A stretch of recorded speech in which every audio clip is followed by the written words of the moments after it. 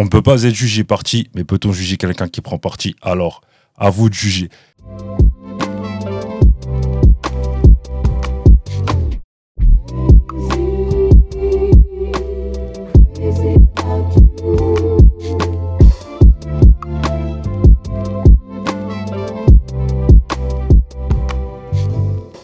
Salutations à toutes et à tous, bienvenue à bord de la Haute Sphère Cause Monote, l'émission qui prône la vulgarisation et la transmission pour l'élévation. Moi, c'est Audrey, enchanté. La thématique du jour, c'est le football. Aujourd'hui, l'hôte du jour est un footballeur. L'hôte du jour, c'est Maxime Biamou. Salut Maxime, comment tu vas? Ça va très bien et toi? Ça va, ça va. Ravi de te recevoir ici? Bah, merci en tout cas pour l'invite. Est-ce que tu peux te présenter, s'il te plaît? Alors, Maxime Biamou, joueur de foot professionnel, 34 ans, né à Créteil dans le 94. Euh, j'ai fait euh, à peu près ma carrière en, en Angleterre. J'ai commencé le football euh, en France de, à l'âge de 6 ans. Et euh, je suis parti en Angleterre vers euh, 26 ans, un truc comme ça. on va, on, Voilà. on va y revenir euh, au niveau des étapes. Donc, tu as dit, tu as commencé le foot à l'âge de 6 ans. Tu as commencé où? J'ai commencé le foot en- à côté de chez moi. J'habite à Bonneuil-sur-Marne, pareil, dans le 94, à une petite ville à côté de, de Créteil. J'ai commencé en débutant jusqu'à Benjamin première année. Je sais pas comment on dit maintenant, peut-être c'est U9 ou U10, un Ouais, je comme pense ça. ouais. Donc j'ai fait jusqu'à Benjamin première année. Ensuite, je suis parti au centre de formation de football de Paris, ça s'appelle CFFP. J'ai fait de Benjamin deuxième année à hum, 18 ans, DSR, 18 ans deuxième année du coup.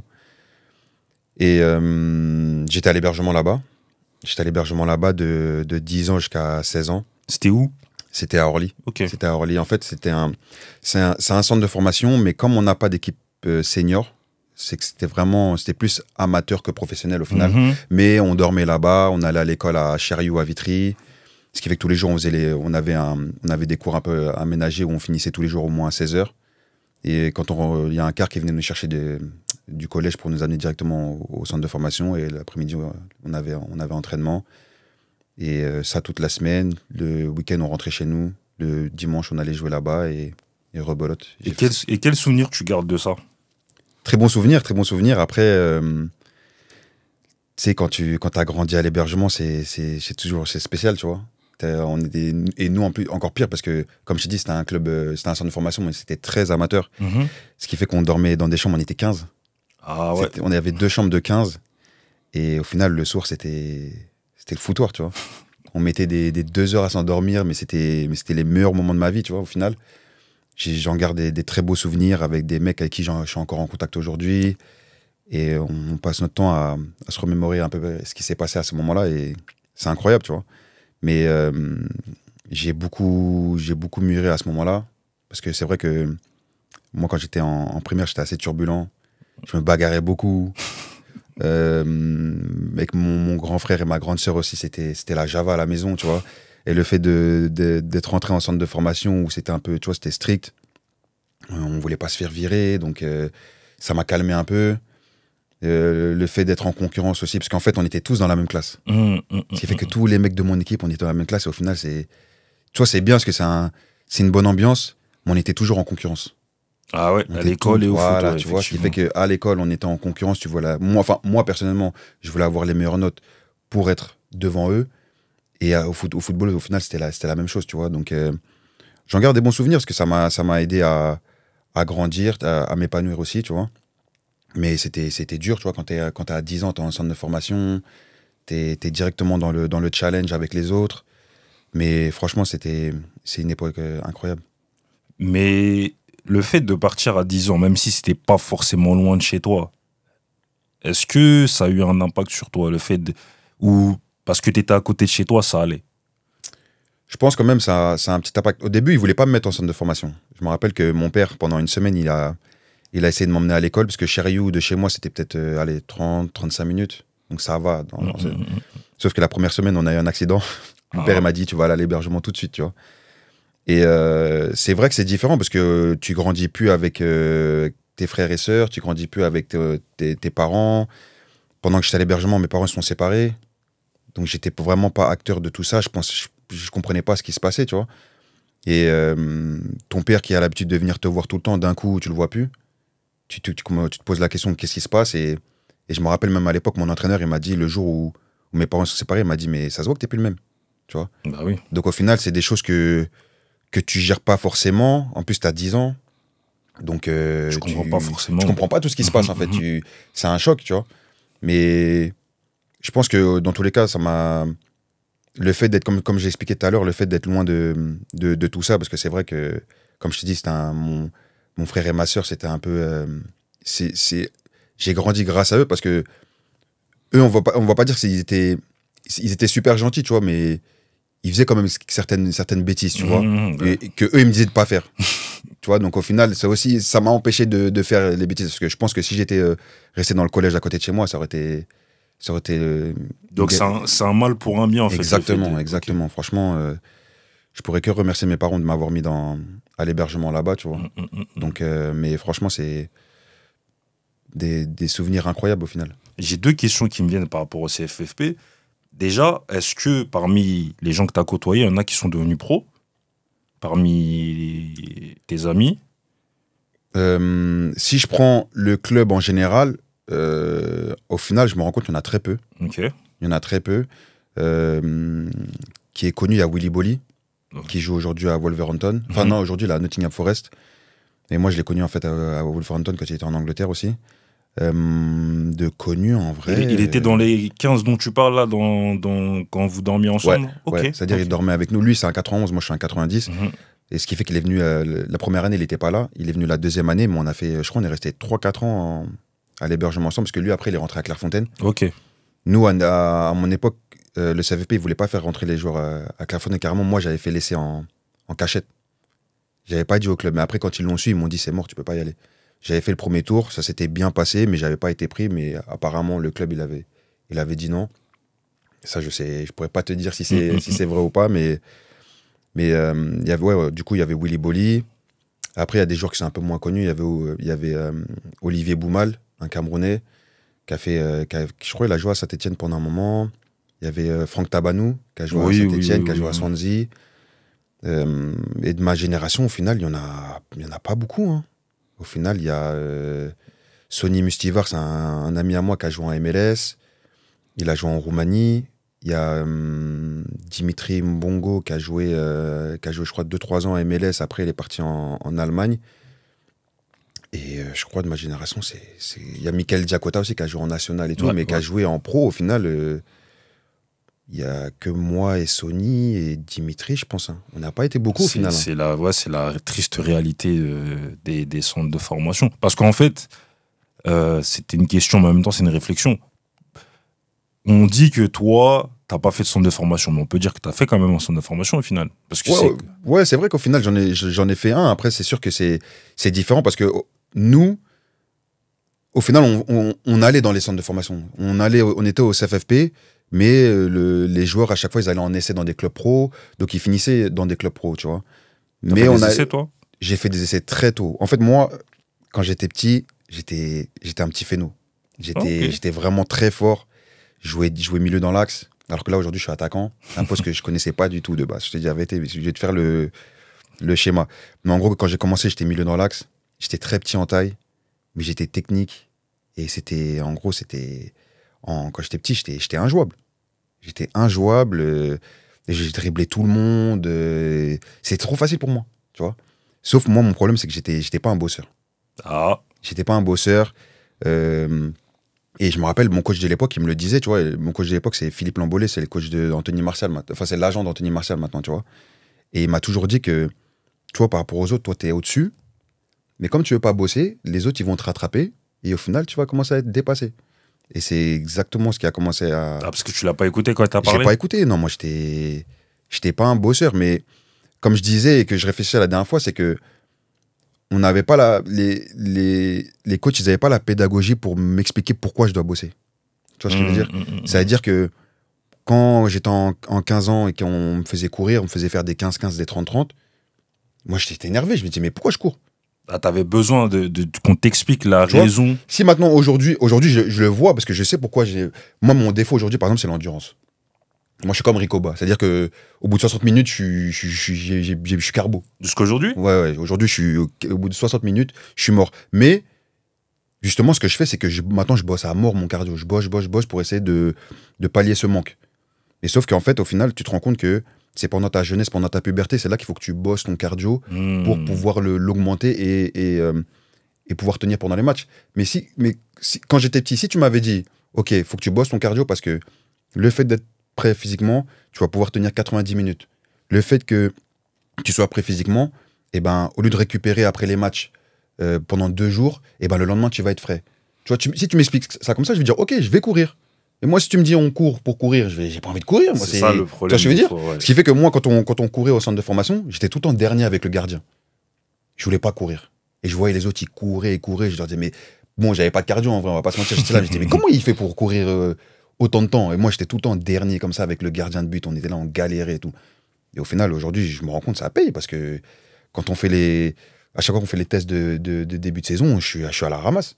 Et ce que je fais, c'est que pendant la pré-saison, je travaille de ouf.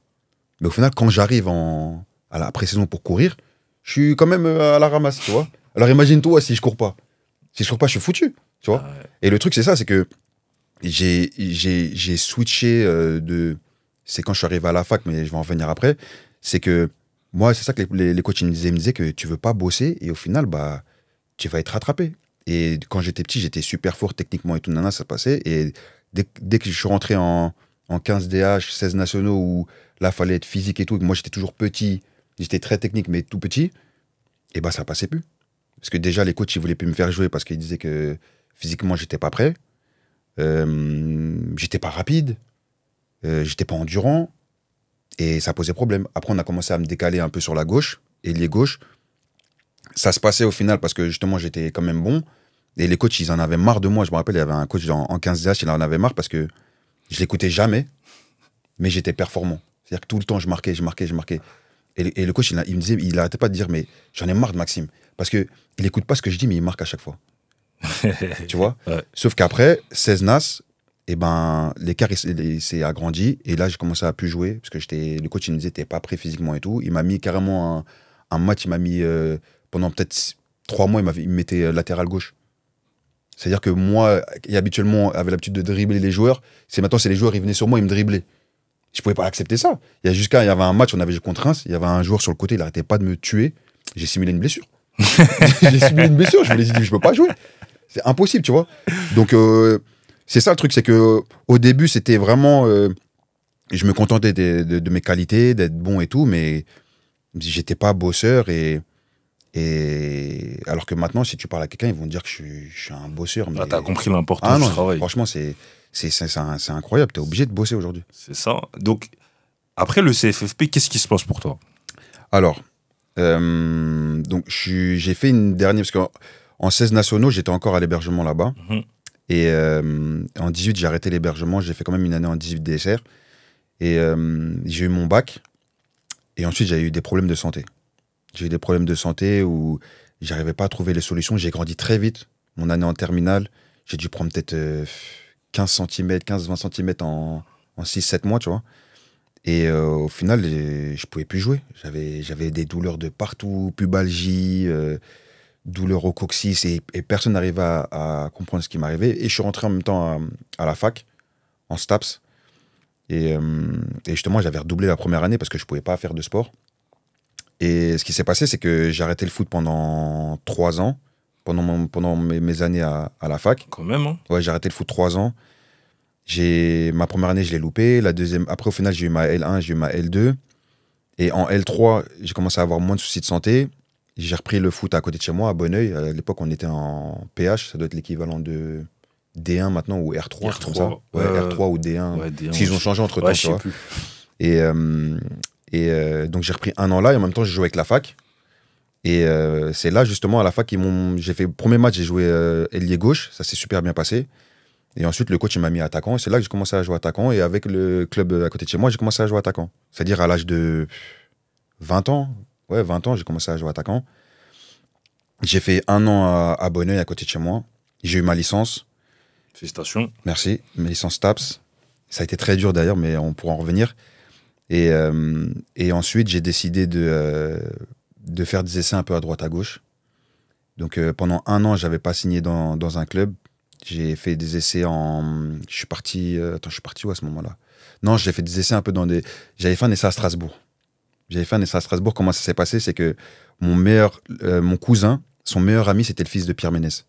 Ok. Et en fait, un jour, il avait fait un, un tournoi de foot qu'il fait tous les ans, ça s'appelle la Pyro Cup, où il venait, il rencontrait des, c'était des journalistes ou des gens lambda qui venaient faire un, tournoi de foot dans un five. Et lui, il faisait son tournoi, il faisait trois matchs, trois défaites. Mais au final, tant que le but, c'était vraiment de faire un tournoi en- entre, entre nous. Et un jour, mon cousin, il m'a ramené. J'étais dans leur équipe. Et au final, bah, j'étais obligé de tout faire sur le terrain. Et on a gagné le tournoi. Et Pierre Ménès, il m'a dit Mais, mais qu'est- qu'est-ce que tu fais, toi? Tu, tu joues? Je lui ai dit Bah, moi, je joue à côté de chez moi, en, en PH. Il m'a dit Mais tu peux pas jouer en PH, c'est pas possible. M'a dit Tu joues quel poste? Et moi, j'ai dit Bah, comme euh, je joue un peu attaquant, un peu milieu, et je dis Bah, je joue un peu pa- partout. Il m'a dit Un joueur, quand il joue partout, au final, il est bon nulle part. Faut que tu me dises un poste. J'ai dit Bah, vas-y, attaquant. Il me dit Ok, prends mon numéro et, euh, et, vas-y, t'inquiète, je vais essayer de te trouver un truc. Et moi, j'ai galéré à l'appeler, j'ai galéré, j'ai galéré, j'osais même pas l'appeler. Tu vois Et un jour, mon frère m'a dit appelle-le. Je l'ai appelé devant mon frère, il m'a dit Ah, c'est Maxime et tout. Ok, bouge pas. Il m'a dit Je te rappelle. Il m'envoie un message, je crois, une heure après. Il me dit T'as un essai euh, la semaine prochaine à Strasbourg. Donc j'étais parti faire un essai à Strasbourg, mais c'est à l'époque où ils étaient descendus en. Ouais, ouais, ouais. le en problème, CFA2, ouais, tu vois. ça. Et euh, je suis parti, je suis parti là-bas, ça s'est bien passé, mais ils m'ont dit qu'en gros financièrement, euh, ils n'avaient pas de, pas le budget et tout, donc c'était, ça allait être compliqué et tout. Et pendant ce temps-là, je m'entraînais à Maison Alfort, et qui était pareil en, en R3 ou D1, un truc comme ça. Et et ensuite, j'avais un essai à faire à Malte au mois de juin, et je fais un match euh, avec des potes à moi euh, en bas chez, dans une ville à côté, à Choisy-le-Roi, et je me fais les croiser tout seul. Mais vraiment, quand je dis tout seul, je me suis fait les croiser.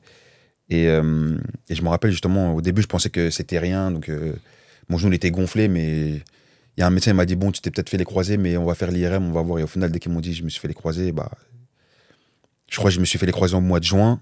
Tellement je voulais pas me faire opérer, je me suis fait opérer en décembre. Je me suis fait opérer en décembre.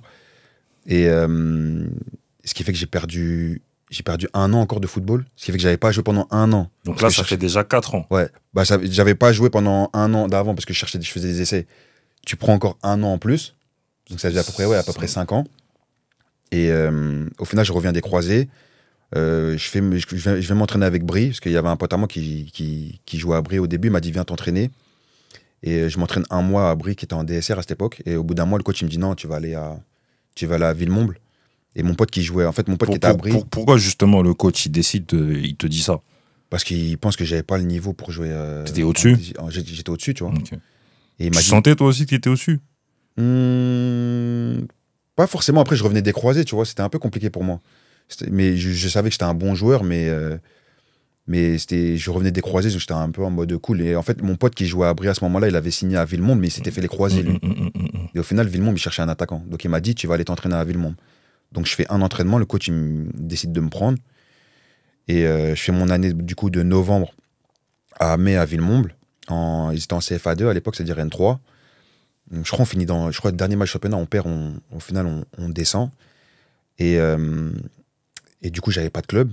Et j'appelle un pote à moi qui jouait à Iser à ce, moment-là, qui était en N2. Je lui demande est-ce que vous cherchez un attaquant? Je l'ai appelé plusieurs fois, puis je l'ai appelé au moins, je l'ai harcelé. Jusqu'au jour, il me dit bah vas-y, bah, ton, mon coach il veut bien te voir. J'ai fait un entraînement, le coach il me dit euh, bah je veux bien te prendre, mais par contre on n'a pas de budget. Donc euh, je te mets sous service civique et tout, mais voilà, c'est les seules conditions. Mais moi j'avais pas de club, j'ai dit bon, je vais aller là-bas. Et là, on est en quelle année à peu près? Là on est en 2014. Ok, t'as 24 ans. 2014, j'ai 24 ans. Et euh, je fais ma saison à, je fais ma saison à Villemomble. Euh, ça se passe bien. Non, Iser, Iser. À Iser, excuse-moi. je fais ma saison à, à Iser, ça se passe bien. Et au final, euh, je vais faire à la fin de saison, je fais un essai à Avranches en national. Et à ce moment-là, il y a un agent qui est là. Et quelques semaines après, il y a un pote à moi, il me dit Ouais, bah, il y a un agent qui était là, il t'a vu, est-ce que tu vas. Il m'a proposé si tu voulais aller en Angleterre. Donc je lui dis Bah, pourquoi pas Et, euh, et c'est là qu'en fait, euh, je décide d'aller faire des essais en Angleterre et, et que j'ai signé là-bas. Ouais, exactement. Juste pour revenir à la, fac de Staps, euh, pourquoi tu arrêtes la fac de Staps, sachant que tu as une licence, et euh, tu reprends le foot dans une volonté de, de, de percer, ou c'est juste parce que tu aimes le, le- le foot? Euh, en fait, ce qui s'est passé à la fac, et c'est marrant, c'est que. je- euh, en fait, les profs, ils me voyaient comme un. J'ai toujours été comme ça. J'ai toujours été bosseur un minimum. Mais euh, j'étais un peu le mec qui, qui faisait rire la galerie, tu vois. Mm, mm, J'aimais mm, trop m'amuser. Que ça soit même en. Tu peux regarder même mes bulletins scolaires en- au collège et tout. J'avais des 14 de moyenne. Mais j'avais jamais les félicitations ou autres parce que euh, je passais mon temps à, à faire le fanfaron un peu dans les couloirs et tout, tu vois. Et, euh, et en fac, moi, moi on m'a- on- par exemple, moi, mes potes, ils m'appellent multisport. Parce qu'ils savent que je, suis- je suis bon dans tous les sports. Et, euh, et en, en STAPS, en L1 et L2, en fait, tu avais la théorie du sport, la pratique du sport, et après, tu avais les matières scientifiques. Du coup, moi, dans les, euh, sports, j'avais que, des grosses, euh, que des grosses notes. Euh, je sais plus c'était sur combien, mais en gros, tu avais la moitié des points qui étaient de la théorie, la moitié des points, c'était de la pratique. Ce qui fait que dans les, sports, en moyenne, j'avais euh, entre euh, 12 et 18, ou on va dire les 14-18. Et ce qui fait que dans la théorie, si je voulais, je pouvais avoir que entre 2 et 6 pour valider. Et sauf que moi, en, matière scientifique, j'étais archi nul. Ah j'avais ouais. des 3, des 4. Ce qui fait que moi, ce que je faisais, c'est que j'avais 16 en, en sport. Théorie du sport, je faisais exprès d'avoir euh, 10, 11, 12. Et après, je pouvais me permettre d'avoir en matière scientifique des 3, des 4, mais j'allais, valider, tu vois. Et sauf que la dernière année, c'est plus ça. La dernière année, en fait, en STAPS, ils te donnent une problématique comme si tu étais prof de PS. Voilà, là, tu es en athlé, tu es dans telle matière, tu es saut en longueur, on va te donner une problématique que les élèves ne savent pas faire. Et en gros, maintenant, c'est à toi de d'expliquer voilà la problématique, ce que tu vas mettre en place. Et en fait, les autres élèves de STAPS, c'est les autres étudiants, c'est comme des élèves. Et après, tu fais une, tu fais une euh, comme un cours de PS en fait au final. Et là, il y avait pas, même si j'étais bon en sport, ça, ça servait à rien. Et en plus, c'était que des trucs où je passais à l'oral. Et moi, moi l'oral, c'était vraiment, j'étais, j'étais stressé. J'avais toujours la boule au ventre, tu vois. Mhm. Même aujourd'hui, le fait de faire un podcast, c'est, Non, mais ça C'est un va, truc t'es fou, mais- plutôt à l'aise. mais je suis à l'aise. Pourquoi? C'est grâce au football. Ah, ok. C'est grâce au football, mais on va revenir, tu vois. Mais euh, et en gros, en fait, c'est là que j'ai commencé à bosser. C'est là que j'ai commencé à bosser et euh, parce que je me suis rendu compte que si je bossais pas, j'allais pas valider mon, mon année. Et je pense que ça, ça a choqué les profs parce qu'ils se sont dit, mais attends, j'ai commencé à avoir des bonnes notes. Ils se sont dit, mais comment lui, il a des bonnes notes alors que on sait que c'est un fanfaron, il passe son temps, tu vois. Et le truc, c'est que pendant pendant mon année de STAPS, on a étudié l'histoire de l'EPS. Ok. Et on a, on a, euh, on- il y avait un moment où ils avaient expliqué qu'en gros, euh, ils avaient expliqué le, le terme la méritocratie. Mhm. Qu'en gros, ils avaient mis en place, euh, je sais plus c'était quel, euh, je sais plus c'était qui qui avait mis ça en place, mais pour qu'en fait que même les élèves qui, qui sont pauvres, ils puissent aller à l'école. Donc ils ont mis l'école gratuite pour que tout le monde puisse avoir euh, cette chance d'aller à l'école et que c'était au mérite, tu vois? Et c'est là que j'ai commencé à dire ah ouais, mais en fait c'est c'est c'est ça en fait, faut que faut que je bosse pour avoir ce que je veux. Et et c'est là que j'ai aimé apprendre, tu vois? Avant, quand j'allais à l'école, je cherchais à avoir 10. En fait, là, moi, ce que je comprends, je mets en parallèle avec les exercices de foot. Toi, t'aimes bien comprendre ce que tu fais. Et, mais ça, c'est venu tard. Mhm. tu vois. C'est venu. C'est parce que je te dis, même la, la. Moi, je te dis ça, mais ça se trouve, quand j'étais petit, si tu m'avais dit euh, les trucs, je t'aurais pas dit. Mais en fait, c'est. C'est. C'est là. C'est euh, aimer apprendre qui a fait que maintenant, je m'intéresse à beaucoup de choses, tu vois. Et c'est venu, c'est venu quand j'étais en troisième année de STAPS, tu vois. Ok. Et au final, euh, j'ai kiffé apprendre, j'ai commencé à bosser et à aimer ça. Et les profs, au bout d'un moment, ils se sont dit, mais y a, en fait, il y a un contrôle que j'ai réussi. Et les profs, ils ont dit que j'avais triché. Carrément. Ouais, ils ont dit que j'avais triché. Je suis passé. En fait, j'avais réussi. En fait, je vais te dire ce qui s'est passé. J'avais ma copie et au final, j'ai donné, par exemple, me- mes, euh, mes, euh, j'ai donné ma copie à des, à des autres élèves, tu vois. Mais au final, moi, j'ai fait mon truc à moi, tu vois. Et en fait, moi, ils ont dit que j'avais triché. Que toi, t'avais copié sur les autres élèves. Voilà, tu vois. Ok. Mais c'est même pas ça. C'est qu'en gros, le lendemain, ils, m- ils m'appellent en me disant, tu vas passer en, tu vas passer à l'oral et tout. nan, nan. Je dis ok. Et ils avaient appelé moi et un autre mec de, de, de ma classe et c'était mon, mon gars sûr, tu vois. Et pour dire les termes, on était les, quasiment les seuls qui venaient de quartier. Donc déjà, ils commençaient déjà à nous mettre un peu, euh, tu vois. Et au final, ils, ils ont voulu me faire un contrôle oral. Et moi, je me suis dit, bah vas-y, je vais venir. euh, ils vont me dire, voilà, bah tu vas répondre à des questions et tout. Mais c'est ce qui s'est passé. Donc je suis arrivé, ils m'ont dit, voilà, bah tu vas répondre à des questions de, des questions de cours et tout. Je dis, mais pourquoi en fait Pourquoi? Moi, moi s'ils m'a- s'ils me disent, ok, bah ta copie ressemble à euh, ta copie ressemble à telle personne, je dis, ok, bah posez-moi des questions, je vais y répondre. Ils m'ont dit, ta copie ressemble au cours. Je leur dis, mais je leur dis donc en fait, moi, je suis un idiot. Vous donnez des cours, en fait, je dois écrire autre chose. Après, ils m'ont dit, non, mais ça nous étonne de toi, tu viens sans feuille, sans stylo et tout. Je dis, mais on est en amphithéâtre, si je veux, je viens. Bah oui, bien sûr. et en gros, bah, ça a causé des problèmes parce que au final, moi, j'ai pas aimé ce, ce truc-là et, et ça m'a en fait, au final, j'ai validé, pas validé cette année, cette année, ce, ce- ce semestre-là. Il fallait avoir 10 pour valider, j'ai eu 9,80. Et je me rappelle que la veille de savoir qui valide et tout, le prof, il avait dit qui pense qu'il a validé son semestre? Moi, j'ai levé la main, ils ont tous rigolé. J'ai dit, vous allez voir. J'ai eu 9,80. Et au final, le semestre d'après, eh ben, les profs, ils nous ont tous, moi et mon pote, ils nous ont tous- tous dit en mode euh, faites attention, on va être sur vos côtes parce que vous avez triché le semestre d'avant. Donc, euh, on est sur vous. Et moi, je leur faisais comprendre, mais j'ai pas triché. Tu vois, moi, j'ai fait ma copie, j'ai- bossé. Arrêtez de dire que parce que j'ai bien réussi mon truc, ça veut dire que j'ai triché, tu vois. Et j'ai même été en altercation avec un prof parce que lui, il disait qu'en gros, euh, en fait, dès que dès qu'il y avait un- une petite erreur, et ben, c'était le truc pour me mettre en porte-à-faux, Oh, tu vois. Et moi, j'acceptais pas ça, tu vois. bien On sûr. était, en, on était en amphithéâtre. Le prof, il- à un moment donné, je rentre en, cla- en classe euh, en retard parce qu'il y avait plus de place dans le parking. Et il me dit, euh, sors de l'amphithéâtre. Et moi, j'ai dit, mais pourquoi vous voulez que je sorte de l'amphithéâtre? C'est un, c'est un amphi. Les gens, ils viennent, ils rentrent à n'importe quel moment. Et en fait, ils sont mis sur mes côtes et j'ai pas aimé ça. Et, euh, et à la fin de l'année, j'ai validé euh, mon année, mais ça m'a dégoûté du STAPS. Ouais, j'imagine. Tu vois? Parce que même, il y a une prof, il y, a- il y a une élève qui est partie voir le prof, justement, en disant que euh, je reflétais pas l'éducation nationale, soi-disant parce que je venais d'un quartier. Alors que normalement, je suis censé être un exemple. Bah ouais. un mec de quartier qui arrive à devenir prof euh, dans l'éducation nationale. Et au final, ça m'a dégoûté et j'ai dit non, ça m'a. Parce que là, là, là, justement, après la licence, tu peux être prof ou il faut poursuivre? En fait, il, il faut il faut poursuivre. Justement, il faut poursuivre avec un master et c'est en master 1 que tu passes le CAPEPS. Ok. Et toi, tu voulais être prof? Et moi là-bas, je voulais être prof. Ok. Et en fait, euh, déjà ça, ça m'avait dégoûté. Le stage que j'avais fait, euh, j'avais pas forcément aimé mon stage. Parce que moi, comme j'ai été en centre de formation, j'ai été élevé dans la rigueur, que les exercices soient bien faits. Je suis arrivé, en je suis arrivé dans. Quand je faisais mon, mon, mon, euh, mon stage de prof de PS, tu vois, les petits, ils sont là, balles de basket, ils shootent dedans, ils mettent des shoots dans la tête des filles. Les gens, ils viennent en jean. T'as pas fait ça, toi, en étant jeune? Non, parce que justement, moi, j'étais toujours Ah. en compétition, tu vois. Moi, j'étais dans mon truc, tu vois. Tous les sports, j'étais toujours en compétition avec les mecs de, de, de ma classe, tu vois. Mais euh, au final, j'ai vu qu'en fait, la, la considération du prof de PS, c'était pas ça. C'était pas ce que, ce que je voulais, en fait. Alors que, crois-moi, c'est super dur. Parce qu'un prof de maths, quand il passe son- sa formation, ça va être quoi? Il a son programme de 6e, 5e, 4e, 3e, seconde, tout ça. Mais 6e, tu as un programme. Quand tu es prof de PS, tu as toutes les classes, tu as tous les sports. Ouais. C'est-à-dire que tu- pendant l'examen, tu vas passer, par exemple, euh, tu vas tirer au sort, euh, je sais pas moi, canoë kayak. Euh, faut, t'as une classe de, euh, de cinquième euh, où tu as une élève qui est asthmatique, une élève qui a un problème de genou. Comment tu vas mettre ta séance en place? Compliqué. Tu vois comment c'est compliqué? Mhm.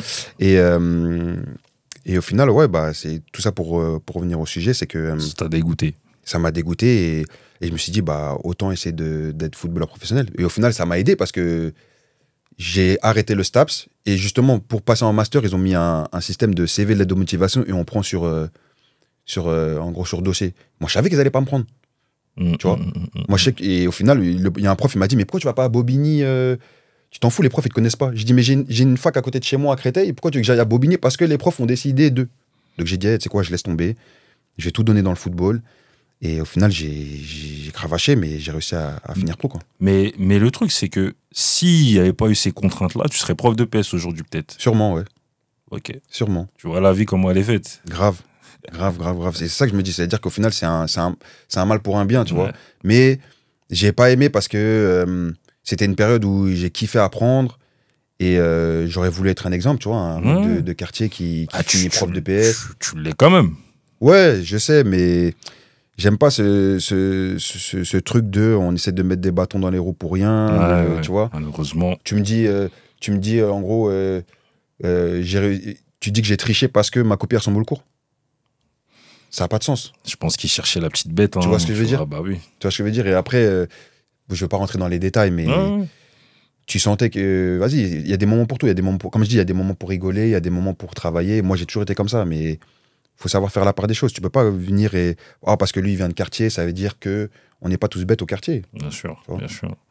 Donc, revenons à l'étape Angleterre. On va faire un focus là-dessus. Ok. Donc, tu dis que tu fais un essai à Avranches, on t'a vu, et on te propose un essai en Angleterre. T'acceptes tout de suite? Non. Pourquoi? Parce que euh, il y avait Calais qui était venu, qui me voulait, qui était aussi en N2. Et comme je t'ai dit, moi, quand j'ai signé à Iser, j'étais en. j'ai- j'ai- Je gagnais 480 euros par mois, Mhm. clairement. pendant la saison, il y avait, euh, il y avait euh, ici, les Moulineaux, ici les Moulineaux qui étaient venus, qui me proposaient 2000 euros par mois. Et euh, j'ai refusé. J'ai refusé parce que euh, l'été où j'avais pas de club, j'étais parti faire un essai à ici les Moulineaux. Et je me rappelle, ils m'avaient pas respecté. Ah, ok. Tu vois? Et l'ego a fait que pourtant, ils me proposaient 2000 alors que je gagnais 480. Et je leur ai dit, je viens pas. Et je suis juste parti voir le, le président de Deezer. Je leur ai dit, écoutez, là, je prends 480. Il y a un club qui me propose 2000. Qu'est-ce que vous pouvez faire pour moi? Ils m'ont dit, bon, on va essayer de te monter à 1002. J'ai dit, vas-y, pas de problème. Et au final, Calais, il me proposait 2005. Au début, j'avais accepté et tout. Et au final, euh, quand l'agent il m'a appelé, il m'a dit voilà, je, peux- je t'emmener en Angleterre, euh, tu peux. euh, et je lui dit bah, je sais pas. J'ai dit euh, là, je dis, il y a Calais qui me propose 2005. Pour moi, 2005 c'est énorme parce que j'ai jamais vraiment travaillé. Parce que j'ai fait ma scolarité, j'avais l'aide du j'avais la bourse, je prenais euh, 300 euros à ce moment-là. Quand j'étais à Villemont, je prenais 300 euros. Tu vois, j'ai toujours été en galère, tu vois. Et quand quelqu'un vient et te propose 2005 avec appartement, un Mhm. club de N2, c'est dur de refuser, tu vois. Bien sûr. Donc au final, au début, j'hésitais. Mais je me suis dit, bon, autant tenter, euh, t'as rien à perdre. Plus, après, lui, l'agent, je te cache pas, il m'a vendu du rêve. Il a commencé à me dire, ouais, tu peux aller en 5ème div, prendre des 3000, 4000 euros et tout, nanana. Donc au final, je me suis dit, bon, c'est un rêve de, pour tous les joueurs de foot, on veut tous jouer en Angleterre. Je dis, bon, on va y aller et tout. Et euh, je décide d'aller euh, d'aller en Angleterre. Il m'emmène dans un, dans un premier essai à Sutton United. Je devais en faire plusieurs de base. Il m'emmène faire un essai à Sutton United. Tu peux situer aussi un peu C'est à Londres, c'est à côté de Wimbledon. C'est à côté de Wimbledon, Sud- Sud-Ouest sud-ouest. Et euh, je fais un premier match, ça se passe bien, je marque. Après, je fais un entraînement, ça se passe bien. Il y avait un Français qui jouait là-bas, Ben Sete Gomis. Et au final, je dormais chez lui. Il habitait à Southampton, c'est à, une heure et demie de, de route de- du club, tu vois. Après, Southampton, Southampton, euh, province. euh, Ouais. ok. Ah il, ouais. il habitait à Southampton. Et du coup, euh, on fait la route pour le deuxième match, pour aller là-bas. On tombe en panne. Ouh. on tombe en panne sur l'autoroute et tout, et euh, on met peut-être plus, de deux heures sur l'autoroute. Au final, on arrive, dans, au, on arrive au match, je crois qu'il reste cinq minutes. Et à ce moment-là, ils avaient ramené un autre attaquant à l'essai, qui avait l'expérience, qui avait joué en deuxième division et tout, tu vois. Et, et au final, j'arrive, le coach, il me dit, bah, c'est mort, on va prendre euh, l'autre attaquant, euh, désolé et tout. Je dis, ok. Et je, je- je monte dans la voiture, et au final, euh, cinq minutes après, il vient me voir, il me dit, on allait pour partir. hein. Il vient me voir, il me dit non, finalement, le président, il a dit on, on te prend. Donc au final, là, je signe, mais j'avais signé pour, euh, je sais pas moi, peut-être 1000, 1005. Livres. Euh, 1200 euros livres. Je crois, je crois que je prenais, euh, je prenais, je prenais 400, 400 livres semaine. Et au final, en net, ça devait faire, ouais, ça devait faire 1200 livres, un truc comme ça, tu vois.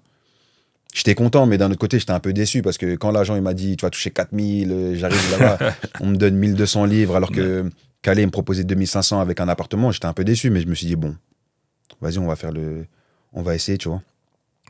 Donc ça a été comme ça que je suis arrivé. Et, euh, et c'était compliqué parce que je dormais, euh, je dormais à- chez euh, la femme du coach adjoint Oh là là. à Southampton. Encore? Ouais, je, te jure.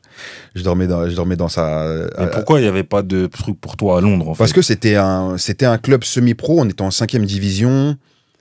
Il n'y avait pas forcément énormément d'argent, c'était- très amateur. Ok. Le club où j'ai été, c'était très amateur. C'était, euh, on s'entraînait deux fois dans la semaine, mardi, jeudi. Mm. Quand euh, on avait souvent des, parce qu'en Angleterre, on a beaucoup de matchs. C'était des, des poules de 24 équipes. Ok. T'es 24 équipes plus euh, tu joues deux coupes. Ce qui fait que dans la saison, tu fais au moins 60 matchs. Alors que sur de CFA en France, on fait 30 matchs. Si tu comptes Ouais. les coupes, tu fais aller 34 matchs max, max, tu vois. Et au final, ce qui fait qu'on s'entraîne mardi, jeudi, mais souvent on a un match samedi, mardi, samedi, mardi. Ce qui fait qu'au final, euh, tu s'entraînes que le jeudi. Et, euh, et les entraînements, je me rappelle, c'était euh, c'était échauffement, taureau, conservation, match. C'est tout. Il n'y a pas de tac technique, euh, rien de tout ça, tu vois. Et, au début, je me suis dit, mais qu'est-ce que je fais là? Je parlais pas la langue. Euh, j'habitais à j'habitais tout seul chez la femme de l'ex du coach adjoint chez l'ex-femme du coach adjoint. Euh, je parlais pas anglais donc on parlait jamais. Euh, je euh, je me levais on devait être là-bas je crois pour 9h30 je me levais à 6h du matin je prenais le bus à 6h30 le bus il passe à 6h30 j'allais au terminus je marchais 10 minutes pour aller chez le français de mon équipe On prenait une voiture, on mettait 15 minutes pour aller à- dans un hôtel à Southampton rejoindre quatre autres joueurs. Et après, on prenait une voiture pour faire une heure et demie de route. Et après, tu devais faire ça au retour. Ah, la galère. Et la chance que j'avais, c'est qu'on avait entraînement que mardi, jeudi. Ce qui fait que je faisais ça mardi, jeudi, samedi. Mais au final, le samedi, ici, on jouait à l'extérieur. C'est-à-dire que je devais faire ce trajet-là. On faisait le train ou le bus que tu veux. On revenait à Londres pour après repartir à Southampton. Pour après reprendre une voiture pour aller. Et j'en pouvais plus. La première année, c'était c'était compliqué. hein. Compliqué. J'ai galéré. Et en fait, ça que je dis, c'est que les, les gens, ils voient que quand tu es là-haut, championship, Mm, euh, mm, mm, mm, ils disent tu gagnes bien ta vie, mais eh, j'ai galéré. Prendre le bus tous les matins, 6 heures, je faisais mon. Parce que je devais manger carrément dans le. Dans, dans la... Je mangeais dans la voiture. t'as pensé un moment. Enfin, tu t'es dit à un moment, t'allais craquer et revenir en France ou tu t'es dit, je tiens? Franchement, non. En fait, moi, c'est ça, j'ai toujours été déterminé, tu vois. J'ai toujours été déterminé, c'est ce qui fait ma force. Parce que là, c'était quoi l'objectif concrètement? Là, quand tu mets un pied en Angleterre, dans ta tête, c'est quoi l'objectif? En fait, mon objectif, c'était de m'en sortir. Ok. Et je me suis toujours dit, je vais tout donner comme ça, j'ai pas de regrets. En fait, ça a toujours été ça ma, ma motivation, c'est tout donner pour avoir de regrets. Je voulais jouer le plus haut possible, mais euh, sans. Mon objectif, c'était pas de jouer en première ligue ou autre, c'était vraiment de jouer le plus haut possible, mais, mais surtout de m'en sortir. Tu sais, quand tu as galéré, tu as, gagné très peu d'argent. Et parce que, comme je t'ai dit, quand j'ai quitté, le, quand j'ai quitté la fac et, euh, et que je me suis fait les croisés, je me suis dit, mais qu'est-ce que je vais faire de ma vie? Mm, mm, mm. Tu vois, je me suis dit, mais ça va être compliqué parce que euh, j'arrête la fac, je me suis fait les croisés, je sais même pas si je peux reprendre le football, j'ai pas, je peux pas faire STAPS. Euh, j'étais en, dépression totale. Et je me suis donné, et dis-toi, je me suis dit, si à 25 ans, je finis pas pro, j'arrête. Et j'avais déjà, j'étais en CFA, j'étais en CFA 2, CFA, j'avais déjà 24 ans. Donc en fait, en fait, tous les ans, je repoussais le truc. Je repoussais. J'ai dit, ah, tu sais quoi, je vais tout donner et on verra. Mais qu'est-ce qui t'a fait tenir justement? Parce que tu repousses, mais qu'est-ce qui t'a fait tenir? Tu savais qu'il y avait une flamme chez toi qui te disait, tu vas y arriver? Ouais. Ok. J'ai toujours été. Et euh, ton entourage aussi te poussait aussi euh, dans ce sens-là où il disait, ouais, pense à autre chose? Non, eux, ils pensent que j'étais dans ma bulle. Ils me disent que je suis un fou. Bah ouais. Parce qu'ils voient tout ce que je fais. Ils m'ont toujours, ils dit, mais t'es un malade de faire tout ce que. de charbonner comme ça. euh, Parce que, j'ai- en vrai, je suis loin de, de ma famille, je suis loin de mes amis, je parle pas anglais. Euh, tu vois les snaps de tes potes, ils sont en vacances tous ensemble. Et nous, l'été, on est en train de courir au mois de juillet. Tous tes potes, ils, sont en- ils partent en vacances en- en- ensemble. T'as envie t'as t'as qu'une envie, c'est de rentrer. Bien sûr. Et en fait, ça que je dis, c'est que les gens ne se rendent pas compte. Moi, quand j'avais pas de voiture, ce qui fait que tous les jours, bah, je sortais de la maison, j'allais à Lidl à pied, c'était à- peut-être à 15-20 minutes. Je faisais mes courses, j'avais mes deux sacs euh, super lourds, je rentrais encore 20 minutes. Euh, on s'entraînait le mardi, jeudi, ce qui fait que les autres jours, qu'est-ce que je faisais? J'allais à la salle de sport, je courais dans mon coin, j'allais dans le parc à Southampton, je faisais des 15-15, des 30-30. Ça, faut le faire. C'est pas tout le monde qui, qui le fait, ça, tu vois. Donc toi, t'avais vraiment ton objectif en tête Ah et oui. tu voulais pas lâcher. Mais c'est bien, c'est une, une preuve de de- d'abnégation. c'est- Exactement. Et c'est ce que je dis en fait. On- si tu fais pas des sacrifices, le football, c'est faut, faut aimer souffrir. Il l'a dit aussi Thierry Henry. Faut, si si tu si t'es pas là pour souffrir, tu, tu vas jamais y arriver. Parce que faut. En fait, moi, je pars du principe où j'ai pas envie d'avoir des regrets. Mm. Tu vois? Je donne tout. Je mets tous les moyens nécessaires de mon côté pour essayer de réussir. Mais à la fin, j'ai pas de regrets. Ouais. Parce que j'ai pas envie d'être le mec du quartier où tout le monde dit Ah, putain, t'as vu lui, il était archi fort, mais il a jamais réussi, c'est dommage et tout. Et, ces- et ces mecs-là, après, ils vivent avec des regrets. Ouais, Moi, je me suis toujours dit Non, c'est mort, je vais pas avec des regrets. Donc, j'ai toujours tout donné. Et euh, l'année à, à Sutton, elle s'est super bien passée, même si ça a été compliqué. Et, euh, et je passe de un mec qui est au, quartier qui galère, qui a pas d'argent. J'étais posé avec mes potes, on faisait rien. Tous les jours, c'était dimanche. Et un jour, euh, en FA Cup, on tire d'abord Leeds. C'est-à-dire, je joue contre Leeds. On gagne contre Leeds, Et, et quand vous jouez contre Leeds, c'est chez vous ou c'est là-bas? Chez nous. Ok. On Et- gagne contre Leeds. Ok. Et ensuite, on tombe Arsenal. Ah. Et je, et je te jure que ce jour-là, je me rappelle, dès qu'on a tiré Arsenal, j'ai pleuré. Ah ouais? Je te jure. Parce que je me suis dit, mais, mais je me dis, mais comment c'est possible?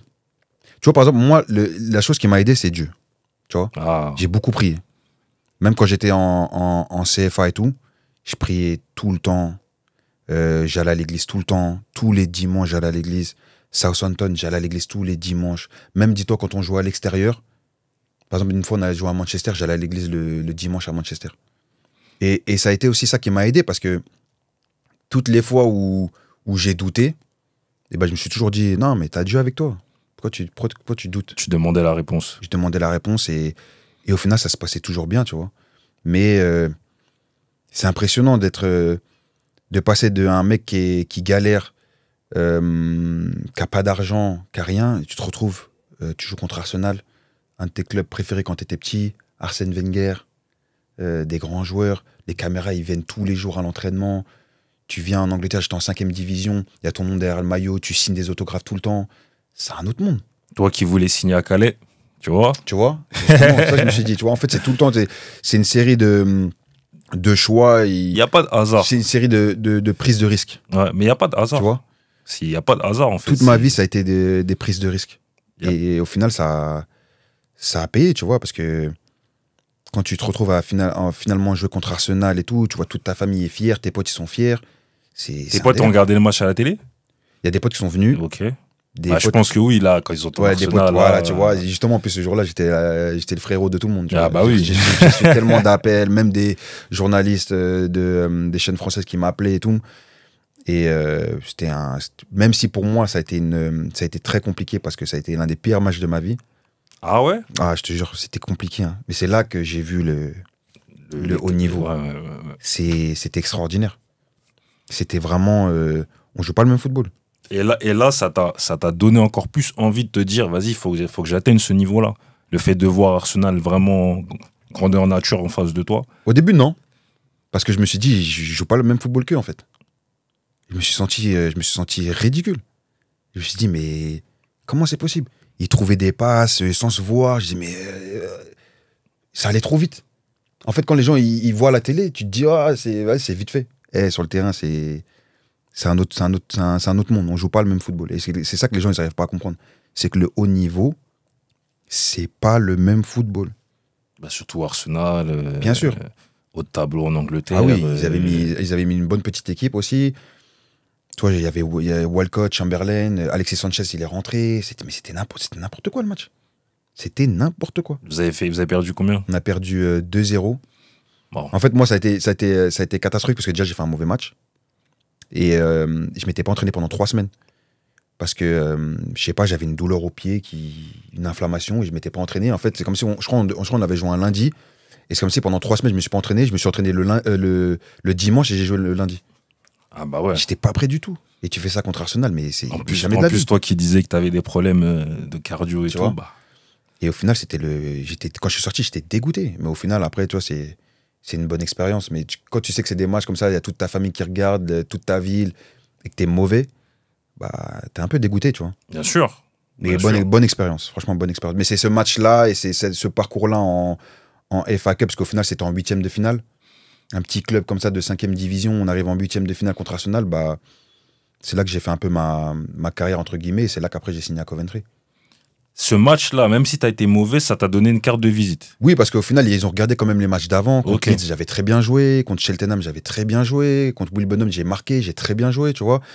Même si, on- euh, au final, dans la saison, on a fini 16e, sur, 16e ou 17e sur 24. J'avais mis 14 buts, j'avais fait une, une assez Ah bonne ouais, saison. même, hein. Tu vois, j'avais fait une assez bonne saison. Et, euh, et justement, pour revenir à, à tout ça, quand je te disais que je suis passé attaquant alors que j'étais pas attaquant, moi, comme, comme je te dis, quand j'étais petit, tout le monde disait Ah, Maxime, joueur très technique, euh, mais pas, pas de. Physiquement, pas, il, est, il, est- il va pas dans les duels, physiquement, il est limité. Quand les gens, ils ont fait le. Quand ils parlent de moi maintenant, ils vont dire euh, joueur très athlétique, très fort dans les duels, mais techniquement, il est zéro. tu, vois? Tu vois la différence, tu vois? Et au final, en fait, là, les gens, ils, ils m'ont pris pour avoir un peu le rôle un peu à la Giro, tu vois. C'est-à-dire que- Target man. target man, c'est-à-dire t'es bon dos au jeu, tu peux garder le ballon, mais c'est tout ce que je déteste. Tu vois. Mais au final, le football à ce niveau-là, c'est un métier. C'est-à-dire que t'es là parce qu'on on te prend pour un poste précis, et si tu veux jouer là-haut, faut que tu fasses ça. Mm, Enfin, mm, mm, et au final, bah, ils voyaient que tous les duels aériens, je gagnais, tous les, je gagnais tout, euh, je savais garder le ballon. Techniquement, pour un attaquant, j'étais pas mauvais, et j'allais vite, donc euh, j'étais assez polyvalent, tu vois. Et c'est pour ça qu'au final, les clubs, ils m'ont pris, Et c'est l'Angleterre qui t'a obligé à changer ton jeu comme ça? On va dire, ouais. On joue, on joue beaucoup comme ça aussi à, à Iser, mais euh, c'est surtout l'Angleterre qui. Mm, mm, mm. Moi, le coach, il me disait, il me disait, il faut que tu. Ah, parce que t'es plutôt grand et Ouais, tout. Donc il- mais quand j'étais petit, j'étais pas comme ça, j'étais tout petit, j'étais Ah tout frêle. Je me, ca- je me cachais vraiment dans les duels, tu vois. Et, euh, et au final, euh, ils, ils, je- ils- ils me prennent vraiment pour un target man. Faut que- Tu vois, mon coach, par exemple, à Coventry, on, on reviendra après, mais mon coach, m'a dit, moi, je t'ai pris, il faut que tu gagnes tous les duels aériens. Il faut que tu presses les défenseurs. Si tu fais pas ça, tu, re- tu retournes sur le banc. C'est pour ça que je t'ai pris. Et, mais pourtant, c'est tout ce que je déteste. Moi, avant, quand je jouais à Villemomble, je venais jouer court, je venais récupérer le ballon, j'essayais de dribbler tout le monde. Des, fois, ça passait, des fois, ça passait pas et tout. Et quand on te met un rôle où, en gros, euh, dans tous les 6 mètres, on t'envoie le ballon sur toi, toutes les touches, c'est sur toi. Après, comme tu as dit, c'est un autre football et Voilà. c'est un métier. C'est ton métier. Donc on te là, demande de faire ça, euh, va pas t'inventer une vie. C'est tout. Soit, soit tu fais ça, soit tu vas sur le banc. Donc un choix. Mais, mais le fait que tu détestais ça, tu prenais du plaisir quand même ou c'était compliqué? Franchement, non. Il y a. Toi, j'ai mis beaucoup de temps à aimer ce, ce poste. J'ai mis énormément de temps à, aimer ce poste. Franchement, c'était. Parce qu'en fait, quand tu es, quand es formé milieu, par exemple, ou ailier, ton but, ou moi, mon but quand j'étais petit, c'était de faire des bons matchs et gagner. Hum, hum, hum, Tu vois. Quand t'es attaquant, ton but, on s'en fout, tu gagnes. Il faut que tu marques. Ouais. tu vois. Et j'ai mis du temps à, à switcher, tu vois. Et euh, j'ai switché à, à Coventry. Parce que euh, à Coventry, c'est là que j'ai commencé à jouer avec des attaquants égoïstes. Et euh, alors que moi, je voulais toujours que gagner, en fait. C'est-à-dire que sur le terrain, je donnais tout, mais je marquais pas. Et euh, moi, j'étais content parce que quand on gagnait, voilà, j'étais content. Mais quand on perd, ils vont dire Ah, t'as fait quoi, toi? T'es attaquant, t'as mis des buts Non, ah, c'est de ta faute Ah ouais. tu vois? Ils veulent pas savoir de. En fait, quand tu gagnes, tout va bien, t'es le meilleur, hein, il a contribué à la victoire et tout. Mais quand tu perds, t'es attaquant, t'as mis combien de buts? Zéro? Bah, c'est de ta faute. Hum, hum, T'es un hum, attaquant qui marque pas. Surtout aujourd'hui avec les stats, tu vois. Ouais. Là, donc justement, on va revenir à Coventry. Tu passes de Sutton à Coventry. Comment ça se passe? Ils viennent te voir. Est-ce que déjà, tu as plusieurs offres, je pense? En fait, j'ai plusieurs offres, euh, mais rien de concret parce que mon- à ce moment-là, mon agent, il, il me disait, il je me rappelle, il m'avait dit, pars pas, on est, parce que nous, le championnat, il se terminait, on a beaucoup de matchs, mais il se termine tôt, il se terminait début mai. Et il m'a dit, pars pas en vacances euh, début mai, est-ce que tu vas trouver un club Et je dis, ok. L'agent, c'est toujours celui qui t'a qui t'a amené à Sutton ou c'est un autre? C'est toujours le même, ouais, c'est toujours le même. Donc, euh, mois de mai, je pars pas en vacances. Il me, trouve, il, me- il me parle de clubs, mais rien de concret. Mois de juin, il me dit, pars pas en vacances. Pareil, il me trouve des clubs, mais rien de concret et tout. Et au final, genre, trois jours avant de revenir à la pré-saison à, à Sutton, il me dit, ah, tiens, il y a Coventry, il te propose ça, ça, ça, ça. Je dis, ok, j'y vais. Il me dit, il faut que tu sois là-bas le lendemain. Donc, je prends un avion direct, bam, euh, je signe. Mais euh, c'était euh, Coventry, je connaissais pas du tout. Et ils sont en quelle division en ce moment-là, À ce moment-là, il venait de descendre en quatrième. Ok. Et c'est un club. Moi, je suis l'un des joueurs de foot au début. hein. Maintenant, c'est- j'ai changé, mais je m'intéressais. Tu vois, je- le football, j'aime bien, mais sans plus. Mais il y en a beaucoup qui sont comme ça, qui regardent pas. Qui... Tu vois, moi, j'étais, moi, j'aimais jouer, mais je détestais regarder.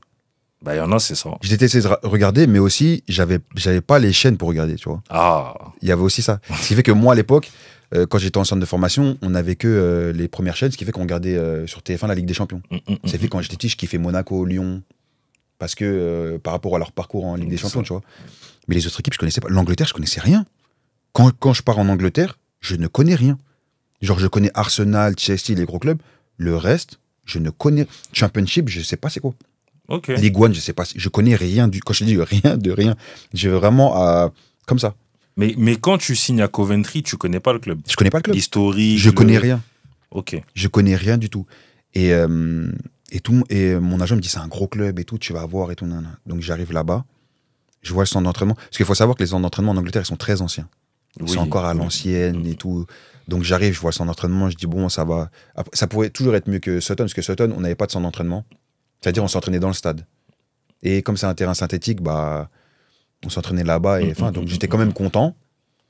Mais euh, c'est quand je vais au stade, je vois le stade, je fais, oh, mais c'est quoi ce stade de fou malade là? Parce que Sutton, on avait une tribune, une petite tribune, et tout le reste, c'était des. Tous les gens se mettaient autour, ce qui fait que hum, hum. il y avait, vas-y, il y avait tous les matchs, il y avait 1000 personnes max, tu vois. Et quand je vais visiter le stade de Coventry, je fais, eh, mais j'ai dit, mais c'est quoi ce, quoi ce stade de fou malade? Eh, Le stade, c'est un stade de, de, de, euh, Ligue 1. 30 000 places, magnifique, il y a un casino dans le stade, il, y a le- il est gigantesque le stade. J'arrive, je fais, oh. Et là, c'est là que les gens me disent, mais c'est pas où t'as signé là? T'as signé dans un club de foule. Et premier match, 14 000 personnes. Ah ouais. J'ai dit, oh, mais c'est quoi ce délire là C'est quoi ce. J'étais en mode. euh, Je flippais. J'avais la boule au ventre. J'étais en.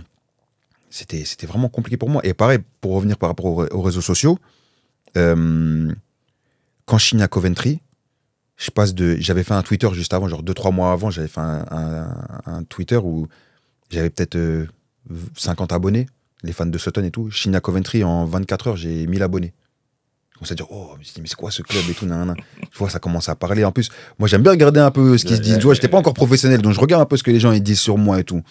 Au début, ça commence à dire, ouais, mais c'est quoi ce joueur? On va, Qu'est-ce qu'on va monter avec ce joueur-là? Il vient de. Il vient de 5 division, mais il a l'air prometteur, parce que le peu que j'ai vu en FA Cup et tout. Donc il y avait des, il y avait des, des assez bons retours, tu vois. Et euh, ouais, c'était. Au début, je comprenais pas, mais c'est dès que j'ai vu, c'était, j'ai vu que c'était incroyable. Mais quand tu signes en quatrième division, t'es pro, non? Ouais, là, je suis pro. En, en Angleterre, t'es pro. Euh, parce que en cinquième div, t'es, semi-pro, euh, alors qu'en quatrième, t'es pro. Tu signes combien de temps? Chine deux ans. Ok. Chine deux ans avec. euh, je sais pas, je devais être à. Peut-être 3000 euros, un truc comme ça. Je devais être à 3000 euros. T'étais content? J'étais content, bah, et directement, tu vois, j'ai pu, j'ai pu prendre mon appartement tout seul, euh, mais j'étais encore, euh, je reste quand même, comme, en fait, comme j'ai signé pro tard et j'ai vraiment galéré, j'ai grave la valeur de l'argent, tu vois.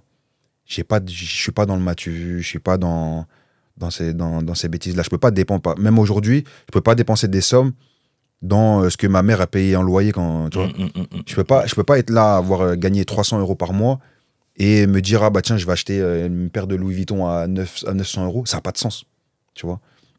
Donc je vivais quand même ma vie euh, assez simple. Et, et- et j'ai quand même fait des tafs. J'ai été à l'intérim, j'ai été chauffeur-livreur. Quand, en fait, quand je me suis fait les croisés, pour payer mon, mon opération, j'ai fait deux mois de chauffeur-livreur. Je livrais des canapés, des matelas, au cinquième étage sans ascenseur. J'ai- mais les gens ne se rendent pas compte, j'ai galéré. J'ai galéré. J'ai fait des. J'ai fait des. euh, j'ai fait la mise en rayon à, à Laura Merlin. Tu vois, j'ai. J'ai cravaché de, de, de fou malade. Les gens ne se rendent pas compte, tu vois. Mais, mais ça a fait que j'ai la valeur de l'argent et j'ai les pieds sur terre, tu vois. Et je suis grave reconnaissant de, sur, sur, sur tout ça, tu vois. Donc, euh, j'étais content du salaire que je touchais. J'ai commencé à prendre mon- un appartement. Je me suis acheté une voiture, petite voiture tranquille. Mais euh, c'est là que les vraies choses ont commencé, en fait. On peut revenir sur euh, cette première saison. Comment ça se passe pour toi? Ça va? Très compliqué. Les six premiers mois, franchement, super compliqué. Euh, parce que justement, je marquais pas. En fait, le coach, il m'avait pris. euh, On est en quelle année à ce moment-là on est en 2017. Ok. On est en 2017. Et euh, quand je signe au club, faut savoir que j'étais l'un des seuls qui ont signé de 5 division. Tous les autres joueurs, ils avaient l'objectif de remonter. Et tous les autres joueurs, ils venaient de deuxième, troisième, quatrième. J'étais le seul qui venait de cinquième. Donc au début, j'étais pas, je pense que j'étais pas assez considéré, tu vois. Il fallait que je fasse mes preuves à chaque fois. Euh, et euh, et, euh, et d'un autre côté, j'étais aussi en, j'avais du mal, tu vois. Je, j'ai- je, je doutais de ouf de mes qualités. Moi, j'ai toujours été quelqu'un qui, qui doute énormément. Même si j'étais motivé, j'ai toujours été quelqu'un qui doutait Et énormément. pourquoi tu doutais à ce moment-là de tes qualités? C'est par rapport à ce que tu voyais euh, à Par rapport à ce que je voyais. Et c'est là aussi que c'est important la confiance en soi, tu vois. Mhm. Euh, tu vois, quand tu es joueur de football, les, les gens, ils s'en foutent de savoir si tu es quelqu'un de bien, tu vois. Moi, j'ai toujours. Moi, si si tu, si tu demandes à mon entourage, les gens vont toujours te dire du bien de moi. Mais euh, quand tu es footballeur, les gens, ils s'en foutent de savoir. On dirait que tu un robot. En gros, si tu es mauvais, tu vas te faire insulter. Tu vois Et euh, mon premier match amical avec Coventry, ça se passe bien. Et moi, j'aimais regarder ce que les gens ils disaient sur moi sur les réseaux et tout. Et au début, ils commençaient à dire Oh, ça va, il est prometteur et tout. Deuxième match, on joue contre les 23 du euh, Liverpool. Je suis catastrophique. Ça commence à dire Ah, il est trop nul. Ah, Il est trop nul. Et tout. Et euh, en fait, au début, je jouais pas, vu que j'étais le seul qui, qui venait de 5 division et tout. Et euh, quand je rentrais, je faisais des bons matchs. On gagnait, ça se passait bien. Mais quand tu perds, et ben c'est là, ils disent Ah, mais lui, il a mis combien de buts, tout ça? Il a pas mis de but. Ah, c'est de sa faute et tout. nan, nan. Et je commençais à douter, je commençais à douter, je commençais à douter. Jusqu'au jour où il y a un match, on fait match nul. J'ai pas été forcément bon. Et moi, en fait, comme je t'ai dit, j'ai toujours ce recul. Moi, j'allais toujours voir les fans. J'étais le seul joueur qui allait voir les fans, qui signait des autographes, qui, de, qui faisait des photos et tout. Et il y a un fan, il est venu me voir, il m'a dit hey, Biamou, tu vois euh, la somme qu'on a mis pour t'acheter là? Bah, on aurait dû le donner à une association parce que t'es genre, t'es archi nul. Waouh.